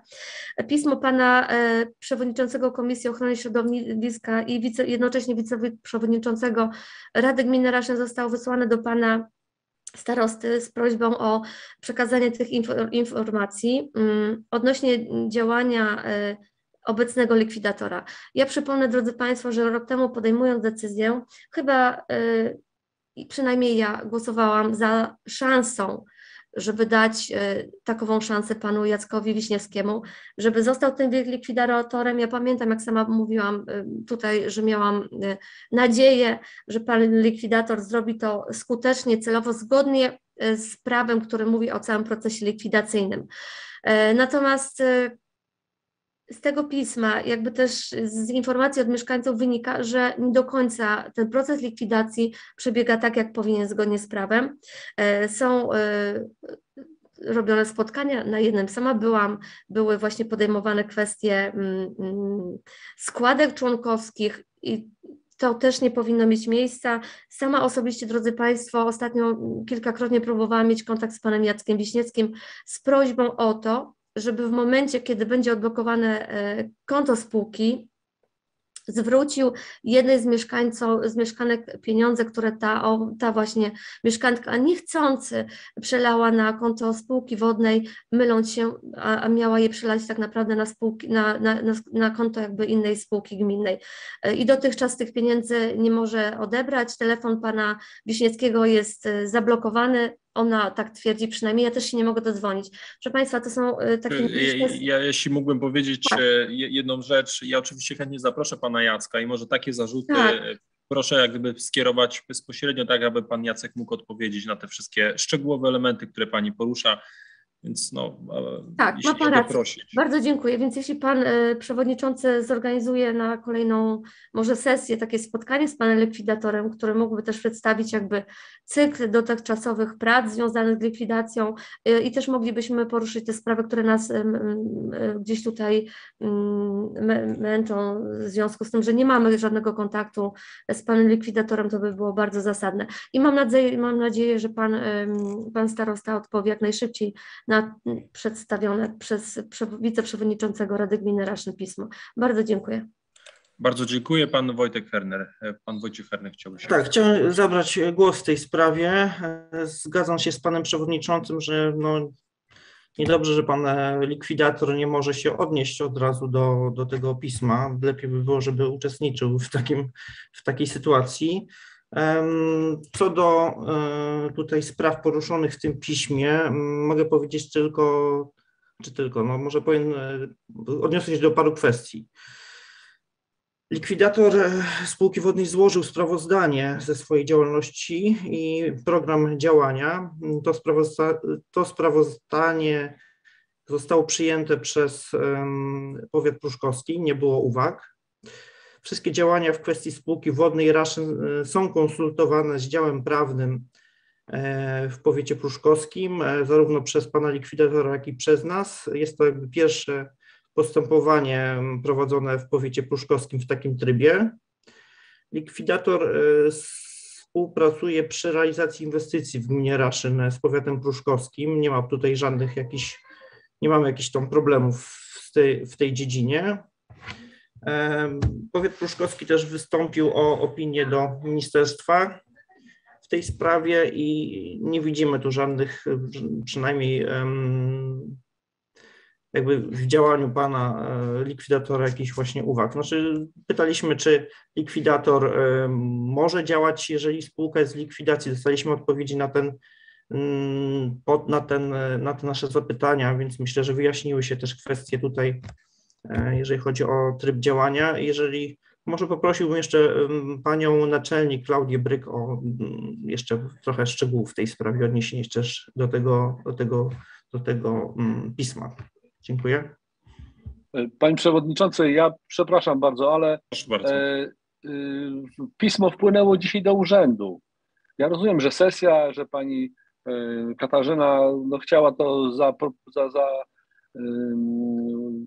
rozpowszechnić e, i chwała za to. Natomiast nie odnośmy się do pisma, które dzisiaj zaistniało w, w przestrzeni prawnej. Musimy je przeczytać, przeanalizować i nie odpowiadajmy na sesji na pisma urzędowe, które wpłynęły z y, zaprzyjaźnionej gminy Raszyn. E, dzisiaj skierowałem to pismo do, do wydziału.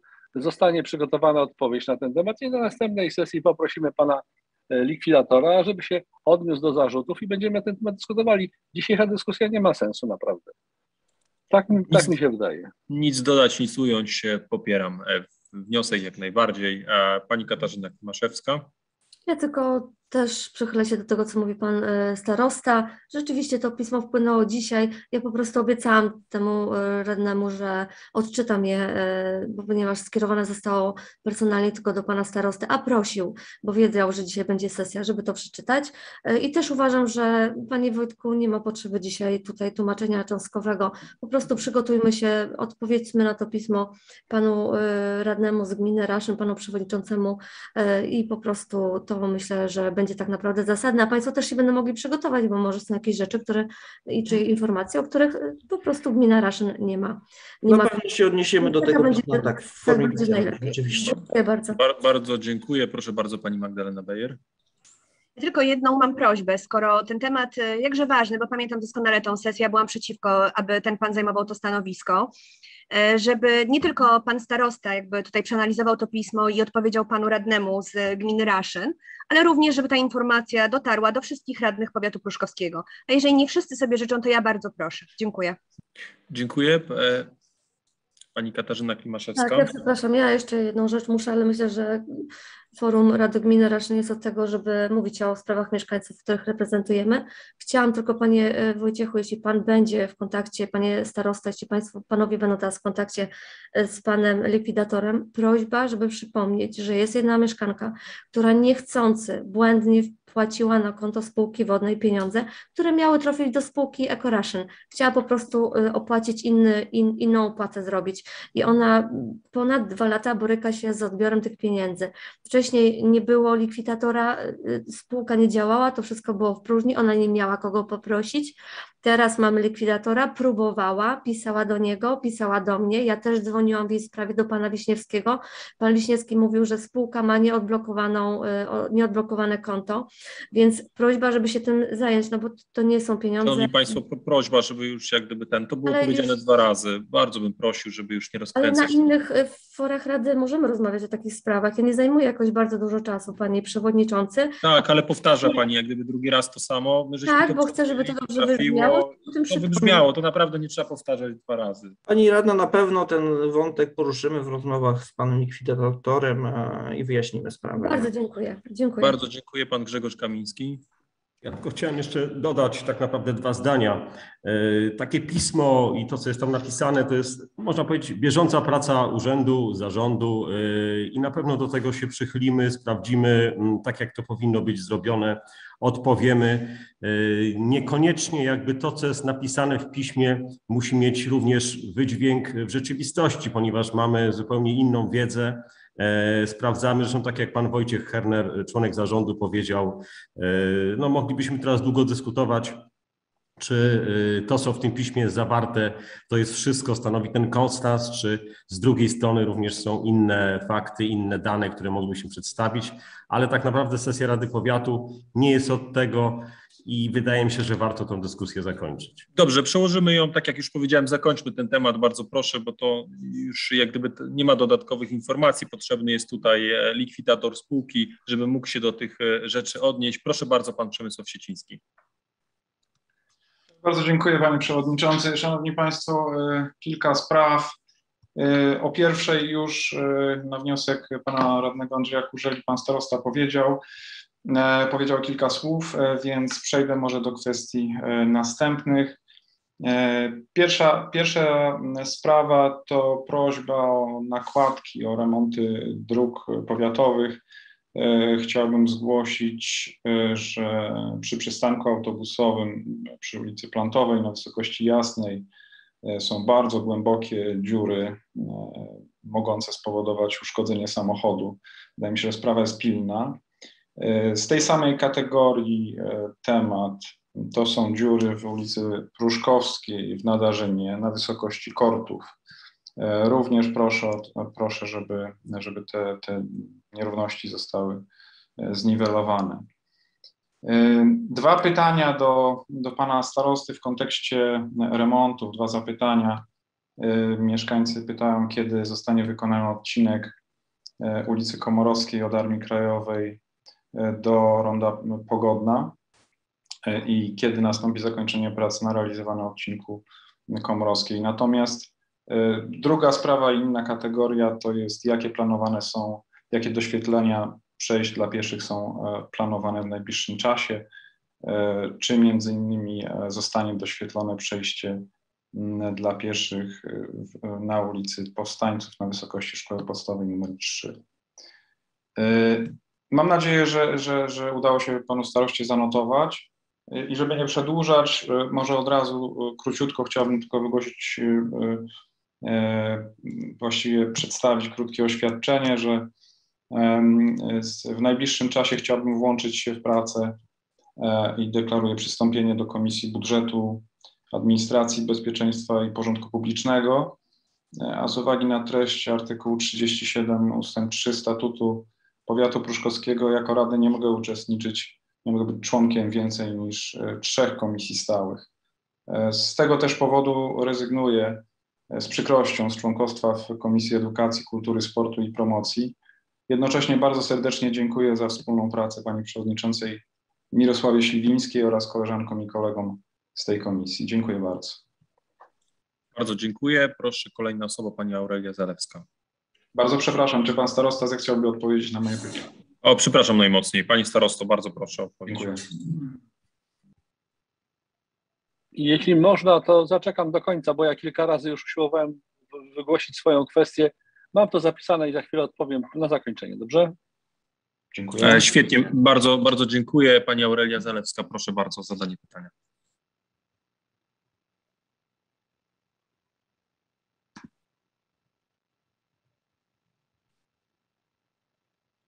Nie słychać. Jest Pani Aurelia Zalewska. Proszę bardzo, Pani Ewa Kubiec w takim razie. Dziękuję Panie Przewodniczący. Ja e, chciałabym zgłosić e, bardzo dużą dziurę e, na ulicy Staszica, bliżej ronda przy przedszkolu, którą sama niestety wpadłam e, w ciemne, o późnej godzinie, nie zauważyłam jej. I niestety uszkodziłam sobie samochód, ale mm, no nie zgłosiłam tego faktu. Ja po prostu tylko chciałam e, zgłosić, że jest dość duża dziura, gdzie pewnie nie jedna osoba w nią wpadła Mm, i no wypadałoby coś z nią zrobić. Dziękuję bardzo. Dziękuję bardzo. E, Proszę bardzo, Pani Katarzyna Klimaszewska. Bardzo dziękuję za możliwość udzielenia głosu. Ja, dro- proszę Państwa, chciałabym sprostować jedną sprawę, a mianowicie e, sprawę przepływu informacji, jaki został e, wykonany pomiędzy powiatem pruszkowskim a gminą Raszyn dotyczącym lewoskrętu w Alei Krakowskiej. Lewoskręt w Alei Krakowskiej, którą to e, wydaje mi się, że przypisuje sobie pan e, radny Rafał Sieracki, nie do końca jest jego inicjatywą. Po pierwsze, e, lewoskręt w Alei Krakowskiej już pan Mirosław Chmielewski planował i to było jego jednym z priorytetów, czy może być, być marzeń e, w poprzednich kadencjach i on bardzo, bardzo często mówił o tym lewoskręcie w Krakowskiej. Natomiast lewoskręt w Krakowskiej, który w tej chwili będzie robiony, e, tak naprawdę ostatnio był inicjatywą całkiem innego radnego, radnego gminy Raszyn, który w następujący sposób e, sukces tego lewoskrętu wskazanego w jednej z lokalnych, lokalnych gazet przez pana Sierackiego opisał w następujący sposób. Artykuł o lewoskręcie jest bardzo optymistyczny. Martwi mnie tylko przyswajanie sobie wszelkich zasług.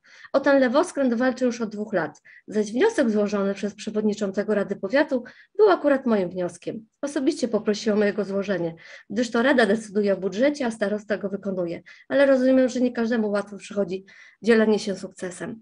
Nie będę komentować. Dziękuję bardzo.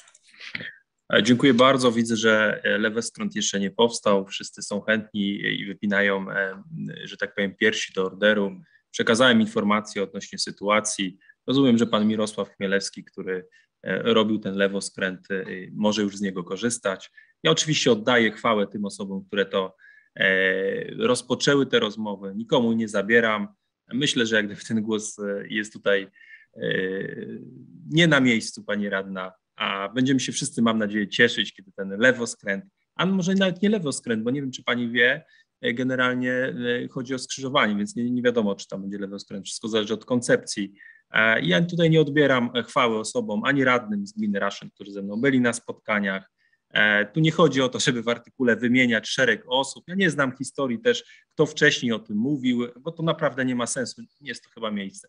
Przekazuję głos dla pani Magdaleny Bejer. E, panie Przewodniczący, ja bardzo przepraszam, ale mm, muszę się z Panem nie zgodzić, ale to nie było adwocem do Pana, jednak ja tutaj się przychylę do wypowiedzi pani radnej Kasi Klimaszewskiej, dlatego że niestety w obecnej kadencji radnych e, opozycji, a my jako klub Prawo i Sprawiedliwość jesteśmy w tej radzie klubem opozycyjnym, ale jak słusznie zauważył dzisiaj pan mm, radny Kurzela, potrafimy ponad podziałami w dobrych sprawach oddawać głosy za dobrymi sprawami dla mieszkańców. I ja rozumiem e, tutaj słowa pani radnej Klimaszewskiej, ponieważ e, to samo, tego samego doświadczyłam wielokrotnie w mojej gminie, chociażby przy okazji modernizacji, remontu ulicy Solidarności w Parzniewie, która się rozpoczęła w ubiegłej kadencji. Co więcej, e, środki rządowe zostały przekazane na tą inwestycję.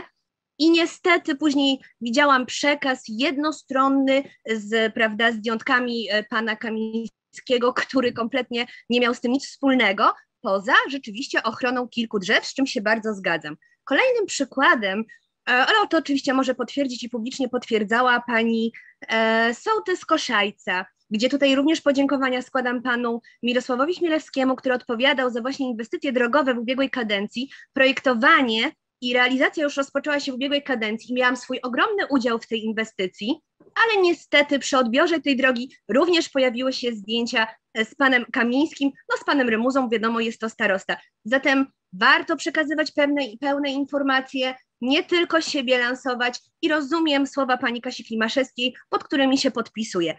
Informowanie mieszkańców w pełni jest bardzo istotne. Bądźmy uczciwi. Dziękuję.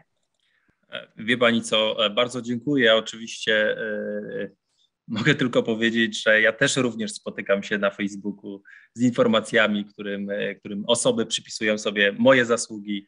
E, myślę, że, że powinniśmy chyba wyrosnąć z takich rzeczy i dajmy spokój jak gdyby tej dyskusji, która prowadzi donikąd. Wydaje mi się, że nie ma sensu, no ale to jeśli ktoś będzie chciał tutaj kontynuować tę dyskusję, to ja oczywiście nie będę nie będę Państwu zabierał głosu, ale dajmy sobie może już spokój, dorośnijmy, ej, pokażmy pewien profesjonalizm. Bardzo proszę, Pan Grzegorz Kamiński.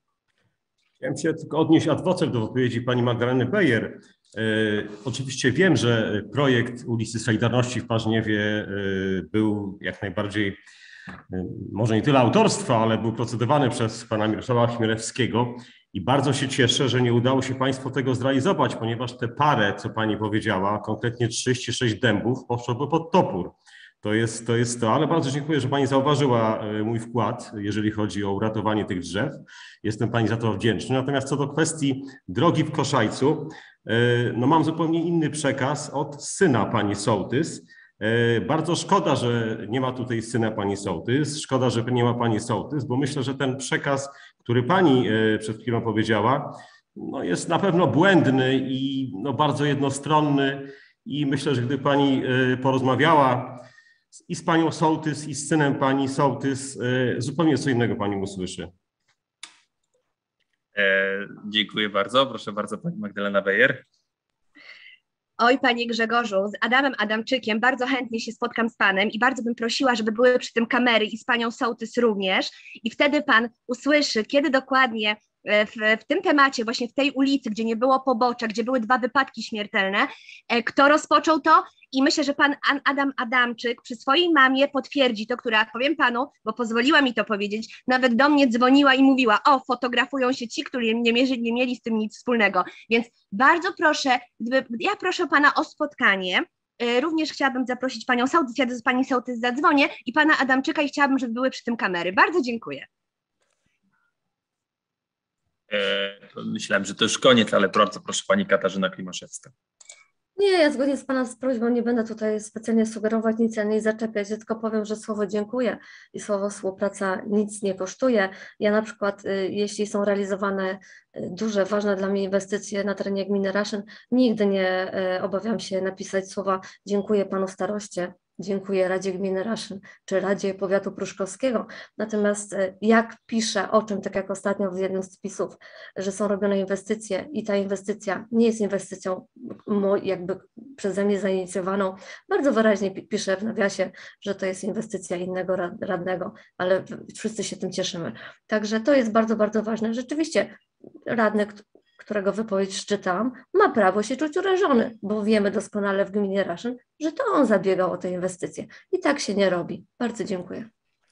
Bardzo dziękuję za te nauki. Ja myślę, że podziękuję panu radnemu w momencie, kiedy e, ta inwestycja powstanie. Na razie jest na pewnym etapie bardzo wstępnym, więc myślę, że będziemy sobie wszyscy przypinać medale do orderu, e, do munduru, jak e, ta inwestycja powstanie. Na razie jest na takim etapie, w którym no nie będziemy się kłócić, bo to jest naprawdę w tym momencie poziom abstrakcyjny. E, proszę bardzo. Panie Przewodniczący, nie będę sobie przypisywać, jeśli Pan coś sugeruje, ponieważ ja nie byłam ani inicjatorem, ani nie zabiegałam o tę inwestycję. Nawet nie do końca jestem przekonana, czy ona jest trafna, także to już między Państwem musicie zdecydować, ale wydaje mi się, że jakby ścieżka, e, ścieżka e, ingerencji o tę inwestycję była troszeczkę inna. Zapewniam, pań, zapewniam Panią, że ta inwestycja jest trafna. Podpisało się po nią e, blisko ponad, ponad 60 osób, e, które dzisiaj oglądają również tą sesję e, i, i dość mocno o to zabiegają.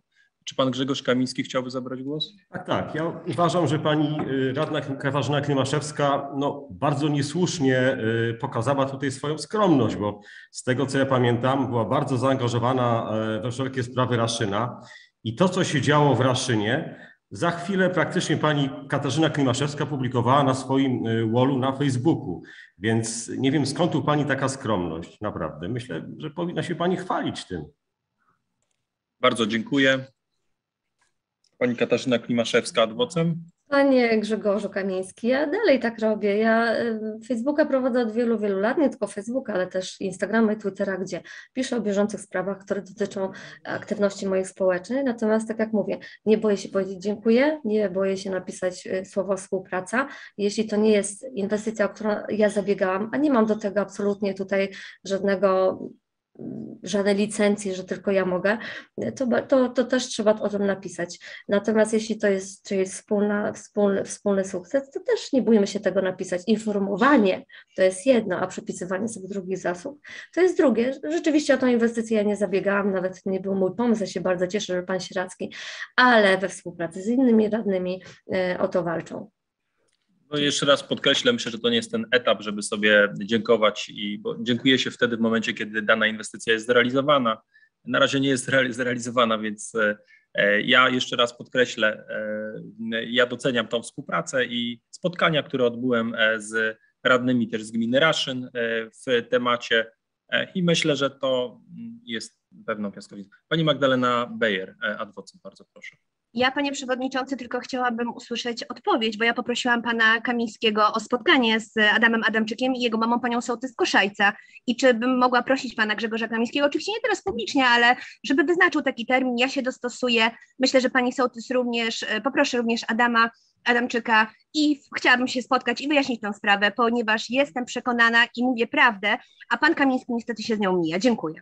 Dziękuję. Proszę bardzo, pan starosta Krzysztof Rymuca.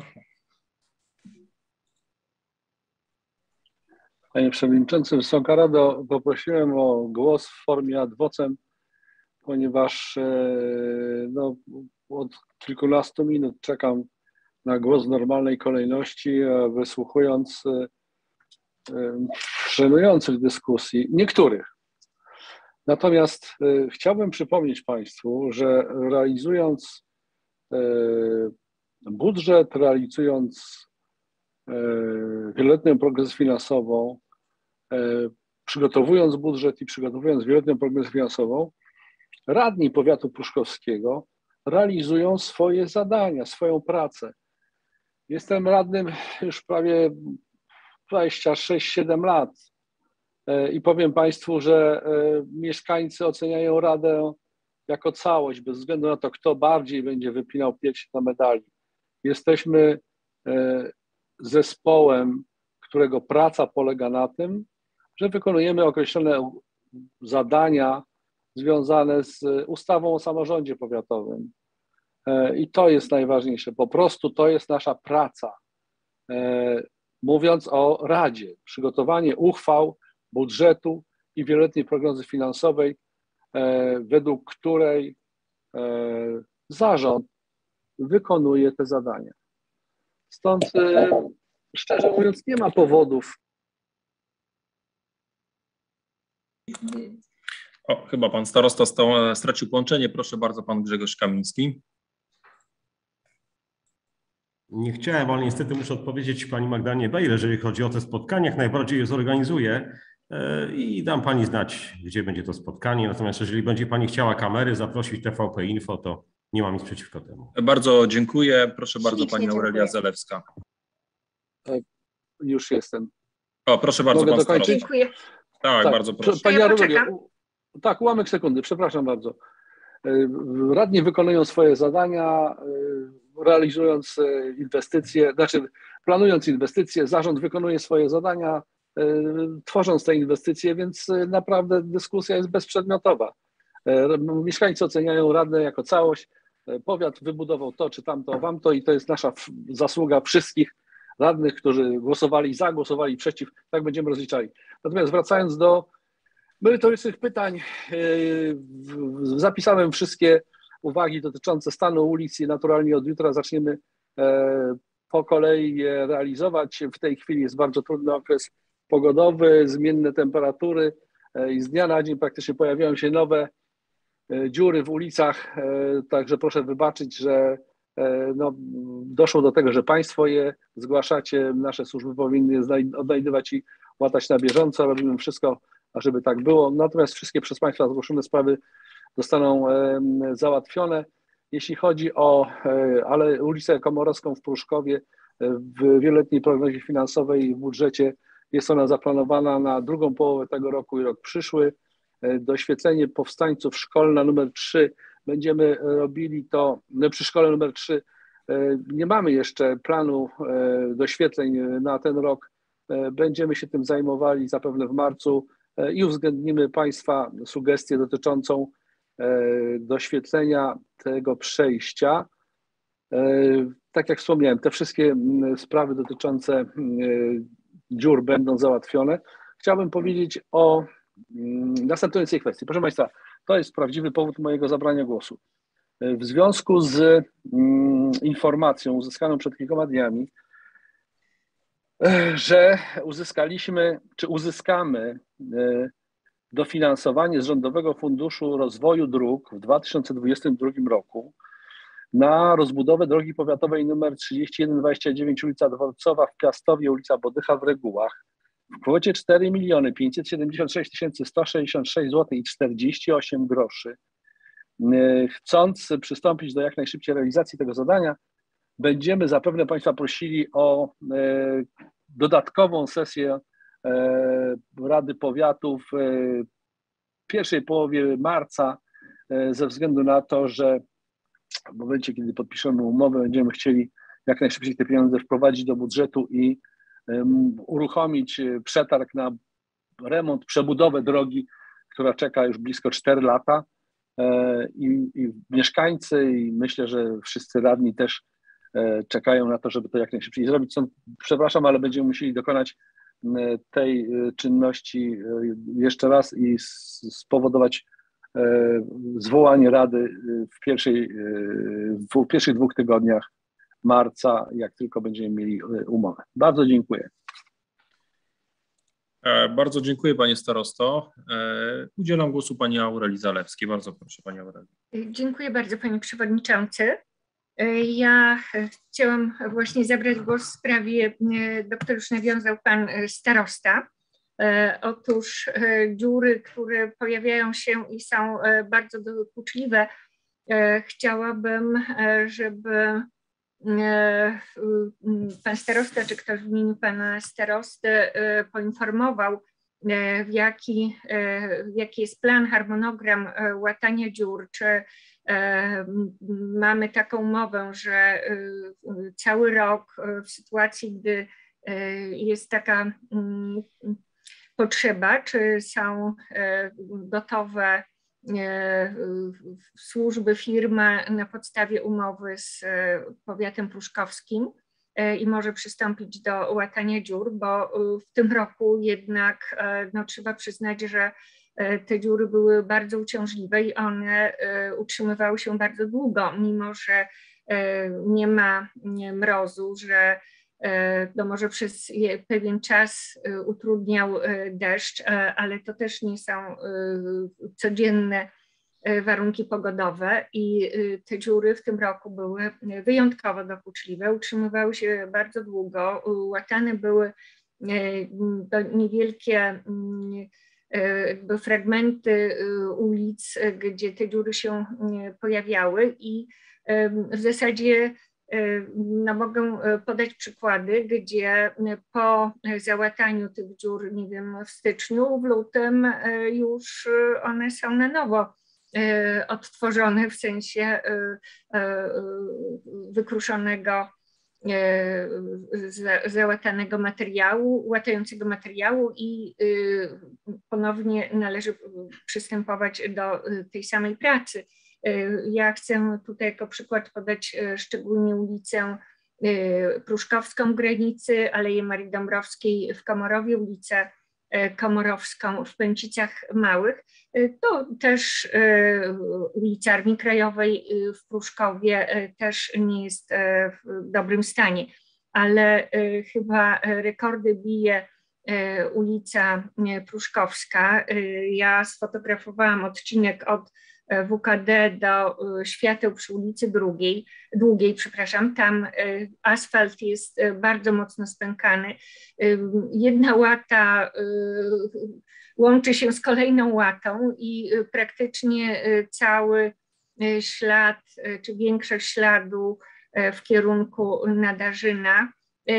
To jest droga łatana non-stop. Nie wiem, jaki jest plan. Chciałabym, żeby tutaj pan starosta, czy ktoś w imieniu pana starosty odpowiedział mi, jaki jest plan poprawy jakości tej drogi. Różne drogi są w tym roku również w budżecie ujęte, są środki na inwestycje w tych drogach. Ta jakoś nie znalazła się w zakresie finansowania i dziwię się, że taki odcinek drogi, który jest w bardzo złym stanie, został pominięty, że nic no, nie wskazuje w tej chwili na to, że ta droga będzie tutaj wyremontowana, przebudowana. Mamy projekt przebudowy tej drogi. Jeżeli nawet byłyby trudności z realizacją tej drogi w sposób, który byłby zgodny z projektem, to radziliśmy sobie już z takimi sytuacjami, chociażby ulica Komorowska w Komorowej Nowej Wsi już została przebudowana i mimo tego, że były trudności z pozyskaniem terenu, nie udało się jakby tego przeprowadzić, to droga została przebudowana i mamy tutaj normalną nawierzchnię. Natomiast tutaj jest to sytuacja, która no, budzi moje wątpliwości w, tutaj w, no, intencje, jeśli chodzi o jakąś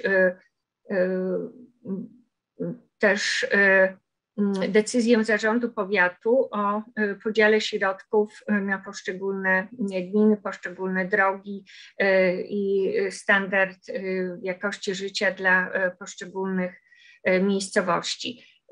To tutaj budzi moje poważne zastrzeżenie.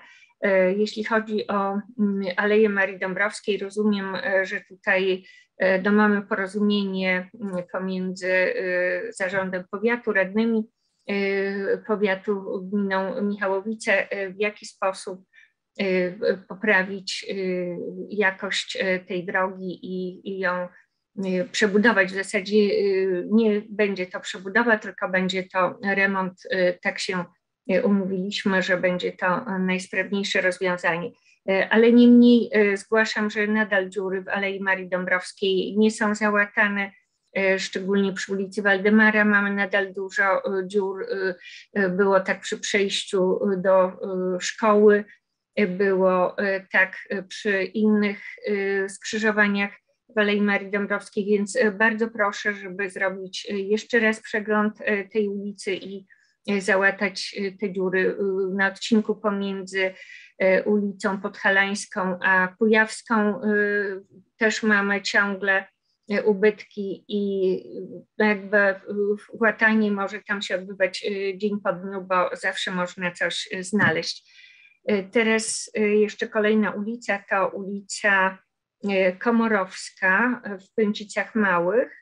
Tam jak poinformował mnie pan naczelnik na Komisji Budżetu, jest w tej chwili wykonywane odwodnienie przez gminę Michałowice, czyli no widać, że jest wykonywana ta podstawowa infrastruktura w tej ulicy. Myślę, że nie trudno ustalić, czy gmina Michałowice ma tam jeszcze jakieś plany, jeśli chodzi o infrastrukturę, czyli media,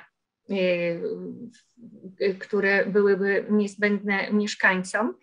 I jeżeli taka infrastruktura jest zbudowana, czy też no, nie ma w planie żadnej kolejnej jakby przebudowy, to myślę, że nie ma żadnych podstaw do tego, żeby odkładać projektowanie przebudowy tej ulicy. No jest to też ważna droga, droga prowadząca do Raszyna, łączą, łącząca kilka miejscowości i łącząca jakby no, stolicę tutaj gmin, chociażby Raszyn z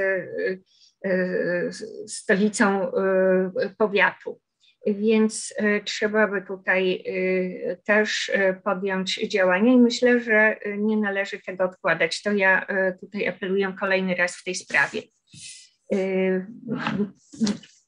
Jeśli chodzi o tę wypowiedź, bo będę miała jeszcze drugi temat, to chciałabym prosić o informację w stosunku do tego, co powiedziałam na początku, czyli jak te działania są podejmowane, jeśli chodzi o naprawę dróg, bo wydaje mi się, że one były opieszałe i dosyć długo musieliśmy czekać na naprawę tych dróg. Bardzo proszę tutaj o wyjaśnienie. Dziękuję. Proszę bardzo. Głos dla pani Moniki Sawickiej. Ale pani przewodniczący jeszcze mam... odpowie? Myślę, że pan starosta odpowie na kilka pytań, tak jak wcześniej powiedziałem. Znaczy, panie przewodniczący, ja mam jeszcze jeden temat, tylko nie chciałam po prostu mieszać tych tematów. Dobrze, to bardzo, bardzo proszę, Ja żeby ktoś z spokojnie. prezydium tutaj odpowiedział. He, pani Aurelio. Panie Dziękuję. Przewodniczący, bardzo proszę, żeby Pani Aurela rozwinęła wszystkie swoje tematy. A potem odpowiem na wszystko, dobrze? Pani Aurelio, bardzo proszę o zadanie wszystkich pytań i pan starosta Dobrze. To dziękuję bardzo. E, Kolejne e, moje mm, pytanie e, dotyczy. Przepraszam bardzo, bo w tej chwili. Słychać dobrze. Tak, już mam dane, ale ja tutaj potrzebuję pewnych danych. Już jestem przy danych, które otrzymałam tutaj od pana starosty. Mianowicie pytałam o to, jakie są koszty funkcjonowania linii autobusowych, nowych linii 60, 61, 62. Otrzymałam informację i chciałabym jeszcze dopytać w pewnych kwestiach. Mianowicie, czy my mamy przedstawiciela w GPA, w Grodziskich Przewozach Autobusowych, dlatego że mam tu informację, że decyzje są podejmowane kolegialnie przez członków tego związku, więc chciałabym zapytać, kto jest przedstawicielem powiatu w Związku Grodziskie Przewozy Autobusowe. I kolejne moje pytanie to, czy w tej kwocie, którą powiat przekazuje w imieniu gmin, jest to kwota 543 959 zł 33 grosze. Są znane poszczególne kwoty z poszczególnych gmin i od czego one są zależne, czy to jest uzależnione od kilometrów, które dotyczą poszczególnych linii, czy, czy to jest jakaś taka dobrowolna rzutka. Również chciałam zapytać o tę kwotę 105 897 zł 54 grosze, jak ona została wyliczona dla powiatu pruszkowskiego. No i jeszcze jedno moje pytanie, to w związku z tym, że byłam zainteresowana informacją o ulgach dla seniorów, dla dzieci i młodzieży. Te ulgi były przy poprzednich jakby kryteriach, zasadach współpracy przy organizacji tych linii komunikacyjnych. One w tej chwili znikły. Jest tutaj deklaracja, że będzie zarząd się temu przyglądał. Chciałabym zapytać, w jakim czasie mogę się, możemy się spodziewać tutaj, że w tym temacie zostaną podjęte jakieś decyzje, czy już są rozpoczęte rozmowy, czy one dopiero nastąpią. Kiedy takich informacji można się spodziewać o wynikach tych działań? Dziękuję bardzo. Dziękuję bardzo. Proszę, przekazuję głos do pana starosty. Panie Przewodniczący, Wysoka Rado. Myślę, że w sprawie komunikacji autobusowej przekazaliśmy dość precyzyjne informacje Pani Radnej, opisując sposób finansowania tego przedsięwzięcia. Trochę jestem zaskoczony tym, że Pani mówi, że w, poprzednim, w poprzedniej komunikacji były jakieś inne ulgi. My pierwszy raz podpisaliśmy tą umowę i pierwszy raz powiat realizuje jakąkolwiek formę bezpośrednią komunikacji zbiorowej. Natomiast powiem tak, no, w kwestii reprezentacji w, w zarządzie reprezentuje starosta Pruszkowski, wicestarosta Pruszkowski. W zarządzie, który jest 10 czy 12 osobowy. Wszystkich linii, tak jak pani powiedziała, jest 63. Z, stowarzyszenie, związek otrzymał dofinansowanie na poziomie, łącznie na poziomie 20 milionów złotych. Dzięki temu te nasze rzeczywiste koszty realizacji tych zadań są na poziomie 100 tysięcy, 105 tysięcy złotych. Szczegółowe wyjaśnienia dotyczące rozliczeń przekażę Pani na piśmie, ażeby móc odpowiedzieć na pytania, według jakich kryteriów to jest realizowane, według, na pewno nie są to jakieś dobrowolne składki, są to, są to wyliczenia wynikające ze wskaźników dotyczących ilości mieszkańców oczywiście.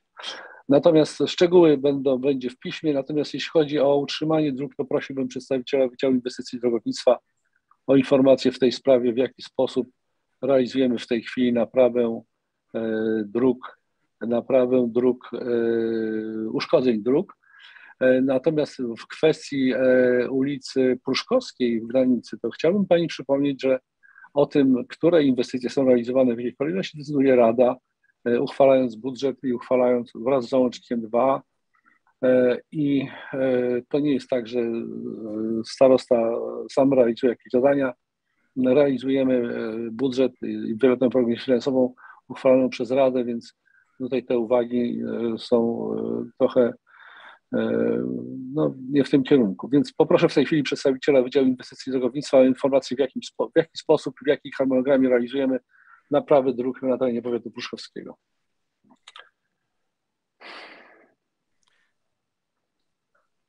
No, jest ktoś z nami jeszcze? Pan Paweł Kostrzewski. Cygan. Pani Marta Cygan. Niestety nie ma pani Marty. Pan Wojciech Wójcik jest chory niestety. Tak, jest na zwolnieniu. Ja może trochę spróbuję na temat naprawy dróg powiedzieć. Mhm. Więc jeżeli chodzi o, bo tak, padły zarzuty, że było to robione opieszale ze strony pani radnej Zalewskiej. Znaczy chciałbym zauważyć, że mieliśmy zimę i w zimę nie da rady tak naprawdę naprawić tych dróg w taki sposób, żeby te dziury zrobić, no powiedzmy na dłużej, czyli wyciąć kawałeczek asfaltu, wstawić długi asfalt, żeby to się zalepiło, ponieważ warunki pogodowe na to, no wiadomo, nie pozwalają. Więc było to robione tylko i wyłącznie prewencyjnie. I dopiero w tym momencie, kiedy no, mrozy, można powiedzieć, zelżały, e, mamy pogodę na plusie, po kolei wszystkie drogi w całym powiecie są robione. I to nie jest tylko tak, że są drogi oczywiście w obrębie mm, zamieszkania pani radnej Zalewskiej, bo powiat jest dosyć duży obszarowo e, i po kolei są te drogi robione. To nie jest tak, że mm, jest jakiś harmonogram i akurat te drogi, które pani Zalewska zgłasza, są na końcu robione albo nie są robione. E, tylko firma, która to realizuje, puszcza w różne punkty e, po prostu ten cały sprzęt, który służy do naprawy dróg. No i powiem pani radnej, że również w miejscowości, w której ja mieszkam, e, również widuję, że w niektórych miejscach są już te drogi naprawione, a w niektórych jeszcze oczekują, więc no, proszę uzbroić się w cierpliwość. E, nie jest na pewno nam na rękę, że, że te drogi są w takim stanie, w jakim są i musimy je ciągle naprawiać.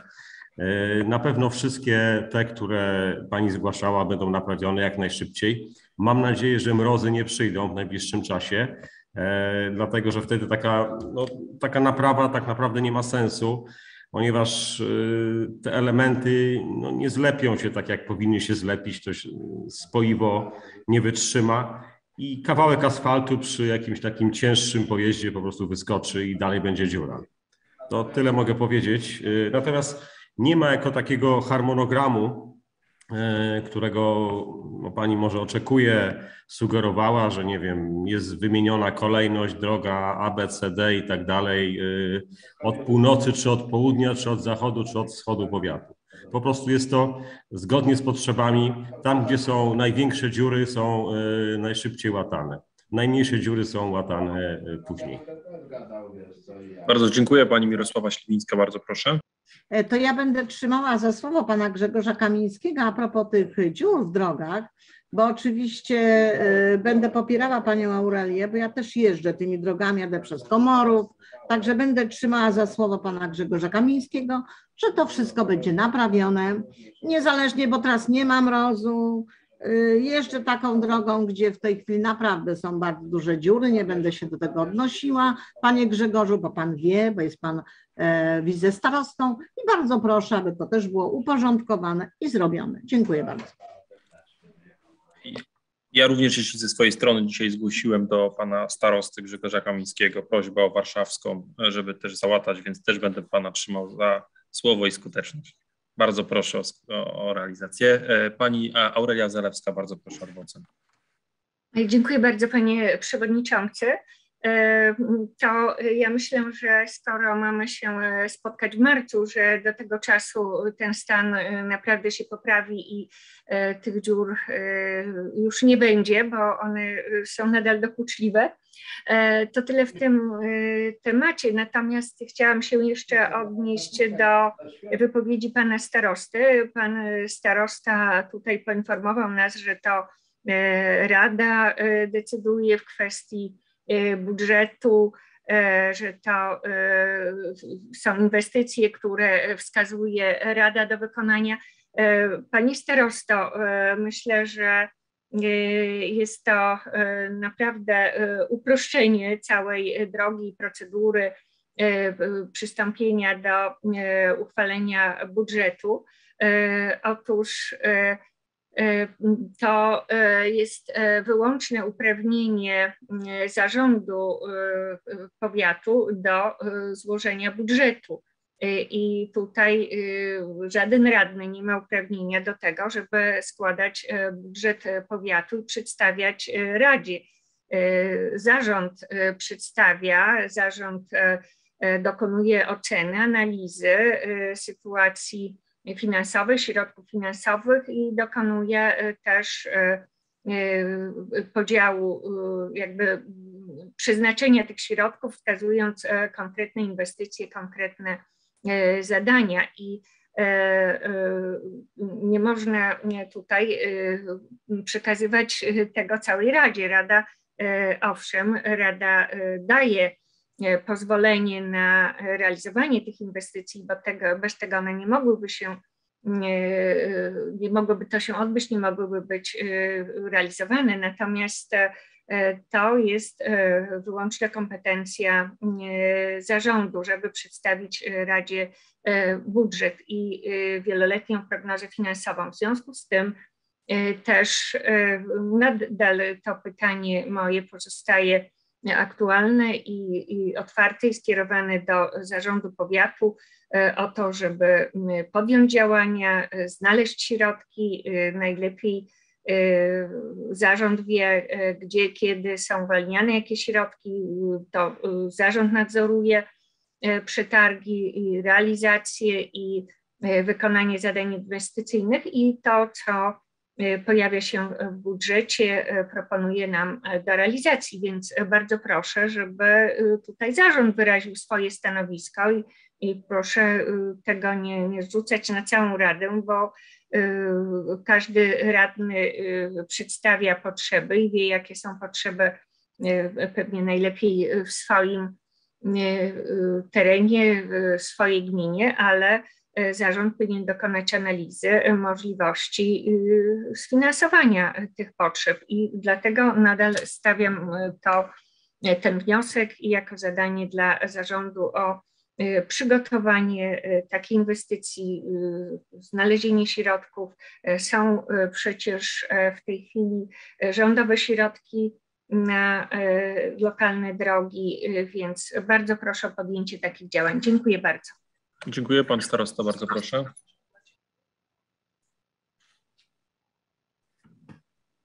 Panie Przewodniczący, Wysoka Rada, Szanowna Pani Radna, w budżecie roku, w załączniku do budżetu 2, w załączniku inwestycyjnym na rok 2022 uchwalonym przez Radę Powiatu Pruszowskiego bodajże 30 grudnia nie ma e, inwestycji, o której Pani mówi żeby mogła ona zaistnieć w budżecie, trzeba ją wprowadzić uchwałą Rady.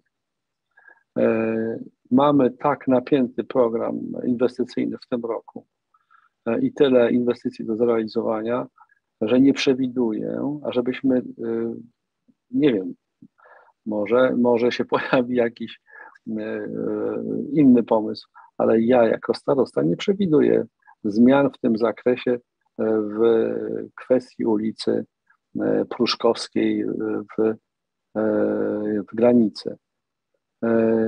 Zachęcam Panią do objazdu innych gmin, szczególnie gminy Brwinów, gminy Nadarzyn, Raszyn, bo skupiła się Pani wyłącznie na ulicach gminy Michałowice. Rozumiem, że Pani tam mieszka, ale jest Pani radną powiatu.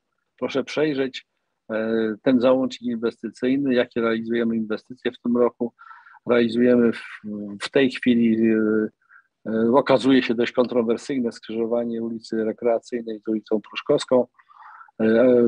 Realizujemy część początkowej ulicy Pruszkowskiej, więc staramy się w budżecie zaproponować Państwu i Państwo to zaakceptowaliście, dość równomierne rozłożenie inwestycji na wszystkie gminy. Przyjmuję do wiadomości Pani propozycję, nie jest to pierwsza propozycja w tym zakresie. W miarę posiadanych możliwości i środków będziemy je realizowali, natomiast na dzisiaj nie widzę możliwości wprowadzenia tej uchwały i tej inwestycji do budżetu. Dziękuję bardzo. Dziękuję, proszę bardzo Pani Aurelia. Dziękuję Panie Przewodniczący. E, dziękuję za odpowiedź e, Panu Staroście. E, ja tylko chciałam dopowiedzieć, że znam również inne drogi na terenie powiatu. Uczestniczyłam w komisjach, w posiedzeniach komisji wyjazdowych, gdzie przemieszczaliśmy się w różnych gminach po drogach powiatowych i znam. I też chcę powiedzieć, że inne gminy mają aktywnych radnych, y, dobrze jestem zorientowana na działaniach radnych i oni również y, dbają o to, żeby zgłaszać potrzeby które wynikają e, z stanu dróg e, na ich terenie. Proszę posłuchać. Dzisiaj słyszałam już kilka razy panią Katarzynę Klimaszewską, słyszałam panią Magdalenę Bejer, pana Przemysława Siecińskiego. To naprawdę mamy aktywnych radnych i nie chciałabym tutaj im odbierać pola do działania, bo są bardzo dobrze zorientowani w swoim terenie i na pewno nie zapominają o potrzebach swoich mieszkańców. Dziękuję bardzo. Bardzo dziękuję. Proszę o głos dla pani Moniki Sawickiej. Dziękuję bardzo. No już się obawiałam trochę, że zapomnę, co chciałam zapytać pana starostę. Panie starosto, interesuje mnie konkretnie łącznik, y, który jest y, planowany y, Sienkiewicza Milezimińskiej Sygietyńskiej. Tam, tam y, ostatnio została wydana ekspertyza dendrologiczna dotycząca y, drzew, które są do usunięcia. Y, o ile pamiętam, bo tak z pamięci podaję, to bodajże 9 drzew jest według eksperta do uratowania, 38 do wycinki. Ale pojawiają się głosy wśród naszych mieszkańców, że jedno z tych drzew, które ma być wycięte, jest to stare drzewo, to jest y, dąb, y, który tam szacowany jest wiek jego na, nie wiem, 240 lat, to chyba jest w ogóle jakaś astronomiczna liczba. Natomiast pytanie, czy w związku z tym, że pojawiają się takie wątpliwości, czy ta opinia jakiejś podlega jeszcze mm, weryfikacji, podlega jeszcze jakimś zmianom? Mało tego, gdzie te drzewa będą przesadzone konkretnie? Bardzo bym chciała wiedzieć. Dziękuję bardzo. Bardzo proszę. Odpowiedź. Mam odpowiadać, czy zaczekamy? Czy, czy to jest jedno pytanie? Jakby pan czy... uprzejmy, to nie, jedno, jedno. Jakby pan Dobrze. był uprzejmy, to bardzo bym prosiła. Panie, panie starosto, bardzo proszę. Ekspertyza dendrologiczna y, pochodzi sprzed kilku miesięcy i była już publikowana. Ostatnio powtórnie była opublikowana w internecie. E, chciałbym się, e, chciałbym poprosić o to, żeby pani zechciała zapoznać się z miejscowym planem zagospodarowania przestrzennego e, miasta Pruszków. E, to jest plan Anielin numer jeden. W tym planie jest e, wyrysowana ta droga jako droga do wybudowania zaznaczeniami drzew, które powinny być chronione. I o dziwo, jak zapozna się Pani z tym dokumentem, to przekona się Pani, że wszystkie drzewa, o które idzie mm, w tej chwili spór w, e, wśród opinii publicznej, e, znajdujące się od strony ulicy Kościuszki, nie są uwzględnione w tym miejscowym planie zagospodarowania przestrzennego do zachowania, nawet te największe i najstarsze, ponieważ zostały zbadane i w związku z pobliskim, z pobliską lokalizacją węzła cieplnego nie rokują jako drzewa wieloletnie. Natomiast rzeczywiście ochroną objętą, to jest, to jest zaskoczenie przy czytaniu tego planu. Na mapie zaznaczane są drzewa objęte ochroną, ale są to drzewa znajdujące się przy skrzyżowaniu czy przy ewentualnym połączeniu łącznika z ulicą Miry Zimińskiej-Sygietyńskiej. Nie potrafię Pani powiedzieć w tej chwili, gdzie będą przesadzone te drzewa, natomiast w, w projekcie przebudowy czy budowy tej drogi jest przewidziany e, taki teren zielony, skwer przy e, właśnie w tamtej okolicy, przy początku łącznika i Miry Zimińskiej-Sygietyńskiej, Natomiast e, lokalizację przesadzeń będziemy uzgadniali e, z ewentualnym wykonawcą. E, możemy, możemy również, jeżeli macie Państwo jakieś sugestie w tej sprawie, podjąć je do realizacji, ale oczywiście będziemy to robili pod kontrolą i opieką dendrologiczną specjalistów, którzy przygotowywali tą, tą analizę. Bardzo dziękuję za odpowiedź. Ja mam tylko jeszcze takie uzupełniające, a co do, dotyczące tego drzewa, które tutaj zgłaszają mieszkańcy, czyli ono jednym słowem nie podlega tej e, ochronie? Ale ja nie wiem, które drzewo zgłaszają mieszkańcy, wie Pani? O ile mnie pamięć nie myli, to było numer 9 na y, tym zestawieniu dendro, dendrologa, ale to, to, z tego co pamiętam no, to była dziewiątka. Nie mogę się do tego odnieść, przepraszam. Ja rozumiem. Dziękuję bardzo. Bardzo, bardzo dziękuję. Proszę o głos e, dla pani Agnieszki Kuzimińskiej. Dziękuję bardzo panie przewodniczący. E, zgłaszałam się do wypowiedzi w momencie, kiedy trochę emocje na Radzie Powiatu e, sięgnęły wyżyn, że tak powiem. I specjalnie nie chciałam korzystać z adwocem, tylko czekam na swoją, na swoją kolejkę. I teraz już troszeczkę złagodzę swoją wypowiedź, E, ale przypomnę Państwu tylko takie polskie powiedzenie, że sukces ma wielu ojców, a porażka jest sierotą. I z bólem obserwuję, że na naszych radach często ta dyskusja e, przekłada się na to, kto co więcej zrobił. Jestem już też w Radzie jakiś czas i zawsze to były dyskusje merytoryczne. I też chcę powiedzieć, że byłam w opozycji, i też opozycja w tamtym okresie, kiedy były istotne rzeczy dla mieszkańców, głosowała tak jak koalicja rządząca. Więc nie jest to nic nadzwyczajnego, proszę Państwa. Tak powinno być w samorządzie. Nie powinniśmy być tak bardzo upolitycznieni i ja po prostu o to apeluję. Tak jak teraz ostatnia dyskusja toczy się o sprawach merytorycznych, to myślę, że jest to właściwa platforma do tego, żeby tutaj rozmawiać. Natomiast y, jeszcze odniosę się do wypowiedzi pani Moniki Sawickiej, która poruszyła temat y, wycinki drzew i która często się pojawia, y, jeżeli zaczynamy jakąś inwestycję. Proszę Państwa, a może ktoś się zainteresuje, dlaczego w ubiegłym tygodniu w ciągu dwóch dni wycięto ze dwa hektary lasu na drodze z Nadarzyna do Pruszkowa czy z Pruszkowa do Nadarzyna, za osiedlem tak zwany Popówek. Rano jechałam, był las. Po południu wracam, nie było koło hektara lasu. Zdrowe, piękne, dorodne drzewa. Na drugi dzień jadę do pracy, nie ma całej połaci lasu. I jakoś nikt nie dyskutuje, czy tam była ekspertyza, czy nie była. Po prostu stało się. Proszę spojrzeć, zobaczyć, przejechać się w to jedno miejsce, albo zapraszam do lasów muchowskich też. Zobaczcie, co się dzieje w lasach muchowskich, które są lasami państwowymi. Dziękuję bardzo. E, bardzo dziękuję. Proszę o głos dla pana Przemysława Sicińskiego. Bardzo dziękuję panie przewodniczący. E, panie starosto, e, nawiązując do pana poprzedniej wypowiedzi, bo nie chciałem nadużywać adwocem, tylko tak też w porządku. W kontekście tych dobrych wiadomości, że z Rządowego Funduszu Rozwoju E, dróg na inwestycje drogowe powiat pruszkowski otrzymał 4,5 miliona złotych.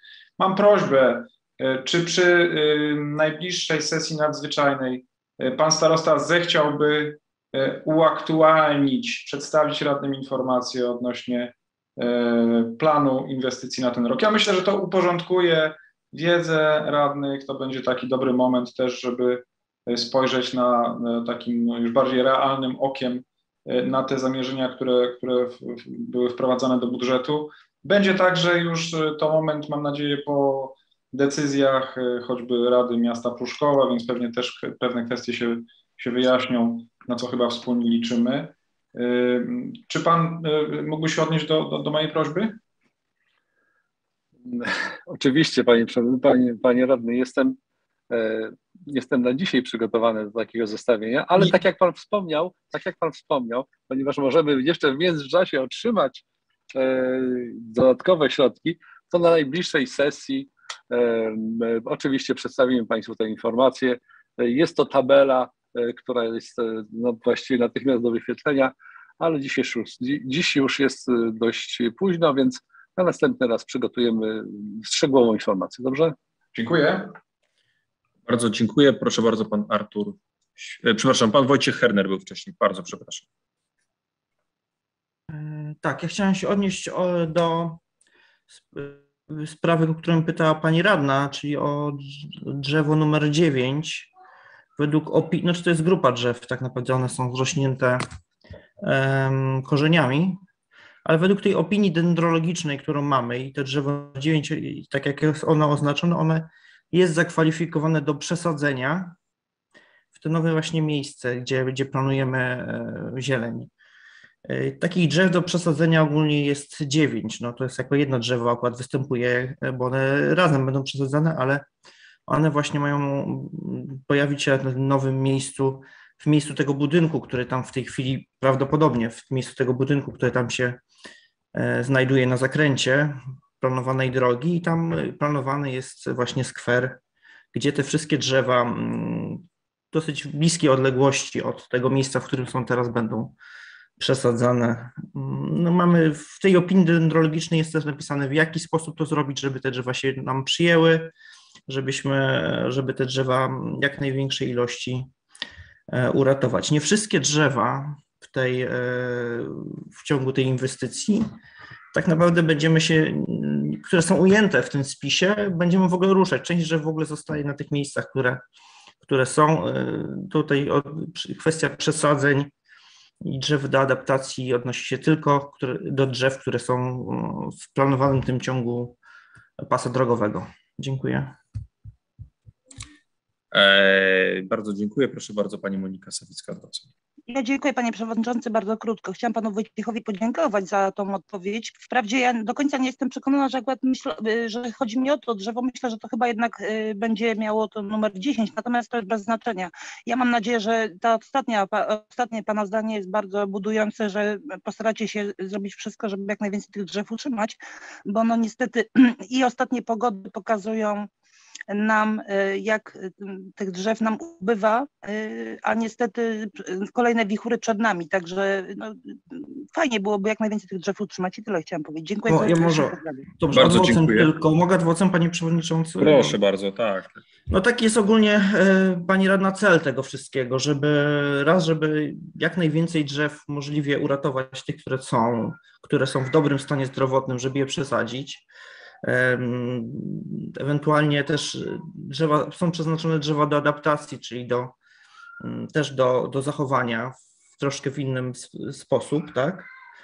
E, jeżeli chodzi o drzewa, niestety, które są na, albo bardzo blisko, albo na tym węźle ciepłowniczym, e, z nimi jest taki problem, że właśnie ta bliskość tej sieci ciepłowniczej powoduje, że te drzewa są zgniłe, znaczy te korzenie są zgniłe tych drzew i w tej opinii dendrologicznej jest napisane, że mm, te, te, jakby dotknąć tych, tych zgniłych korzeni, tych, one są takie już, no, no po prostu te, te drewno może się sypać w rękach. I tu jest to niebezpieczeństwo, że raz, że bliskość jest tej magistrali ciepłowniczej, drugie, że, i tu jest problem przy ewentualnym przesadzeniu, tak, że to się nie, nie może nie udać, Drugie, że właśnie, no przede wszystkim ten korzenie są e, problemem, tak, że one są w takim stanie. No drzewa na górze wyglądają dobrze, ale niestety korzenie sprawiają, że te drzewa nie rokują na, na przyjęcie, na, na, że one się utrzymają dłuższy, przez dłuższy okres czasu.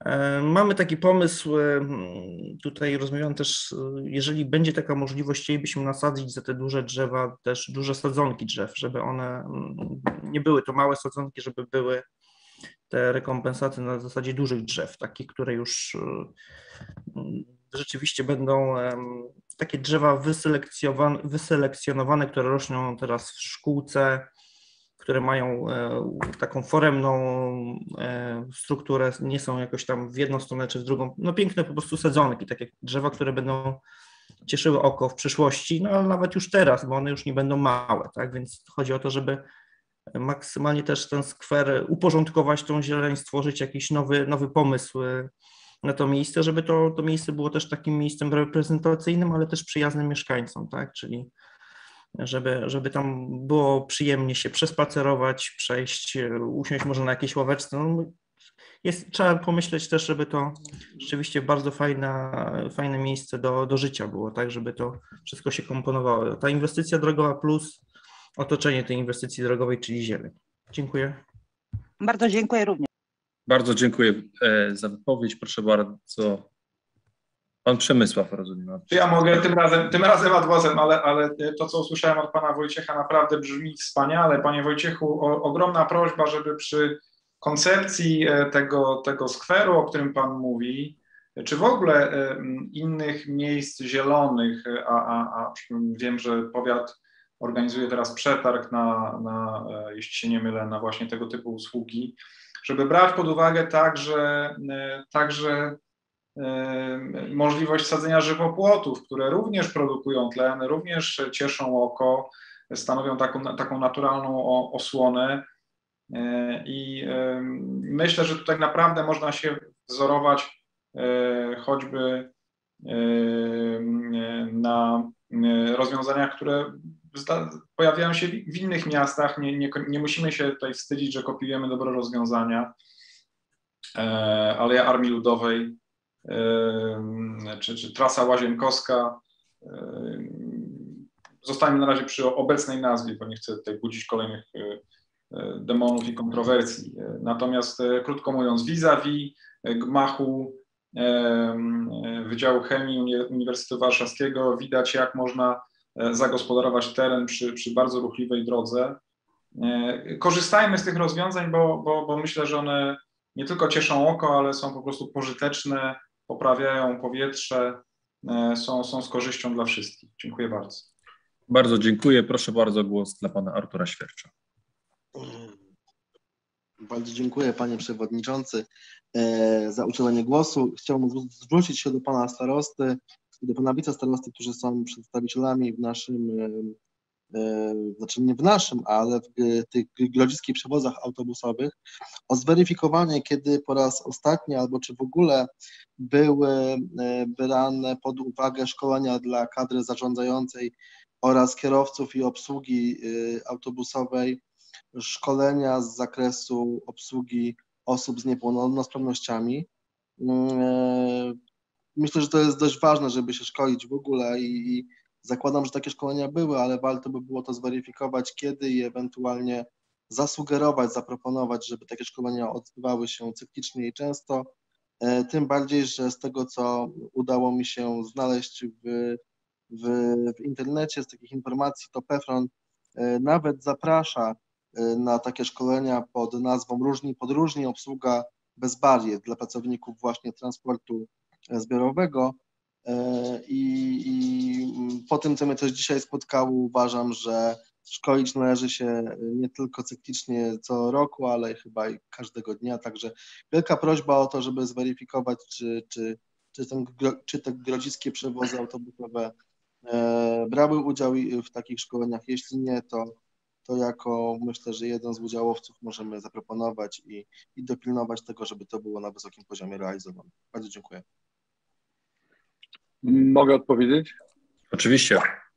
Panie Przewodniczący, Wysoka Rado, Panie Przewodniczący, bardzo cenna uwaga, bardzo za nią dziękuję. E, no, tylko w kwestii wytłumaczenia, e, nikt z udziałowców tego związku nie jest właścicielem transportu, po prostu są wynajmowane firmy w przetargu, e, ale to jest bardzo cenna uwaga. Powinniśmy, powinniśmy dążyć do tego, ażeby te środki transportu były przyjazne e, dla wszystkich e, i z całą pewnością jutro skontaktuję się z panem burmistrzem benedykcińskim i zaproponuję rozwiązanie tego problemu, abyśmy no, rzeczywiście byli dumni z tego e, malutkiego, e, malutkiego fragmentu naszego transportu. Dziękuję bardzo. Bardzo dziękuję. E, w związku z tym, że nie widzę osób chętnych do zabrania głosu, zamykam dyskusję, zamykam punkt 18 i przechodzę do punktu 19.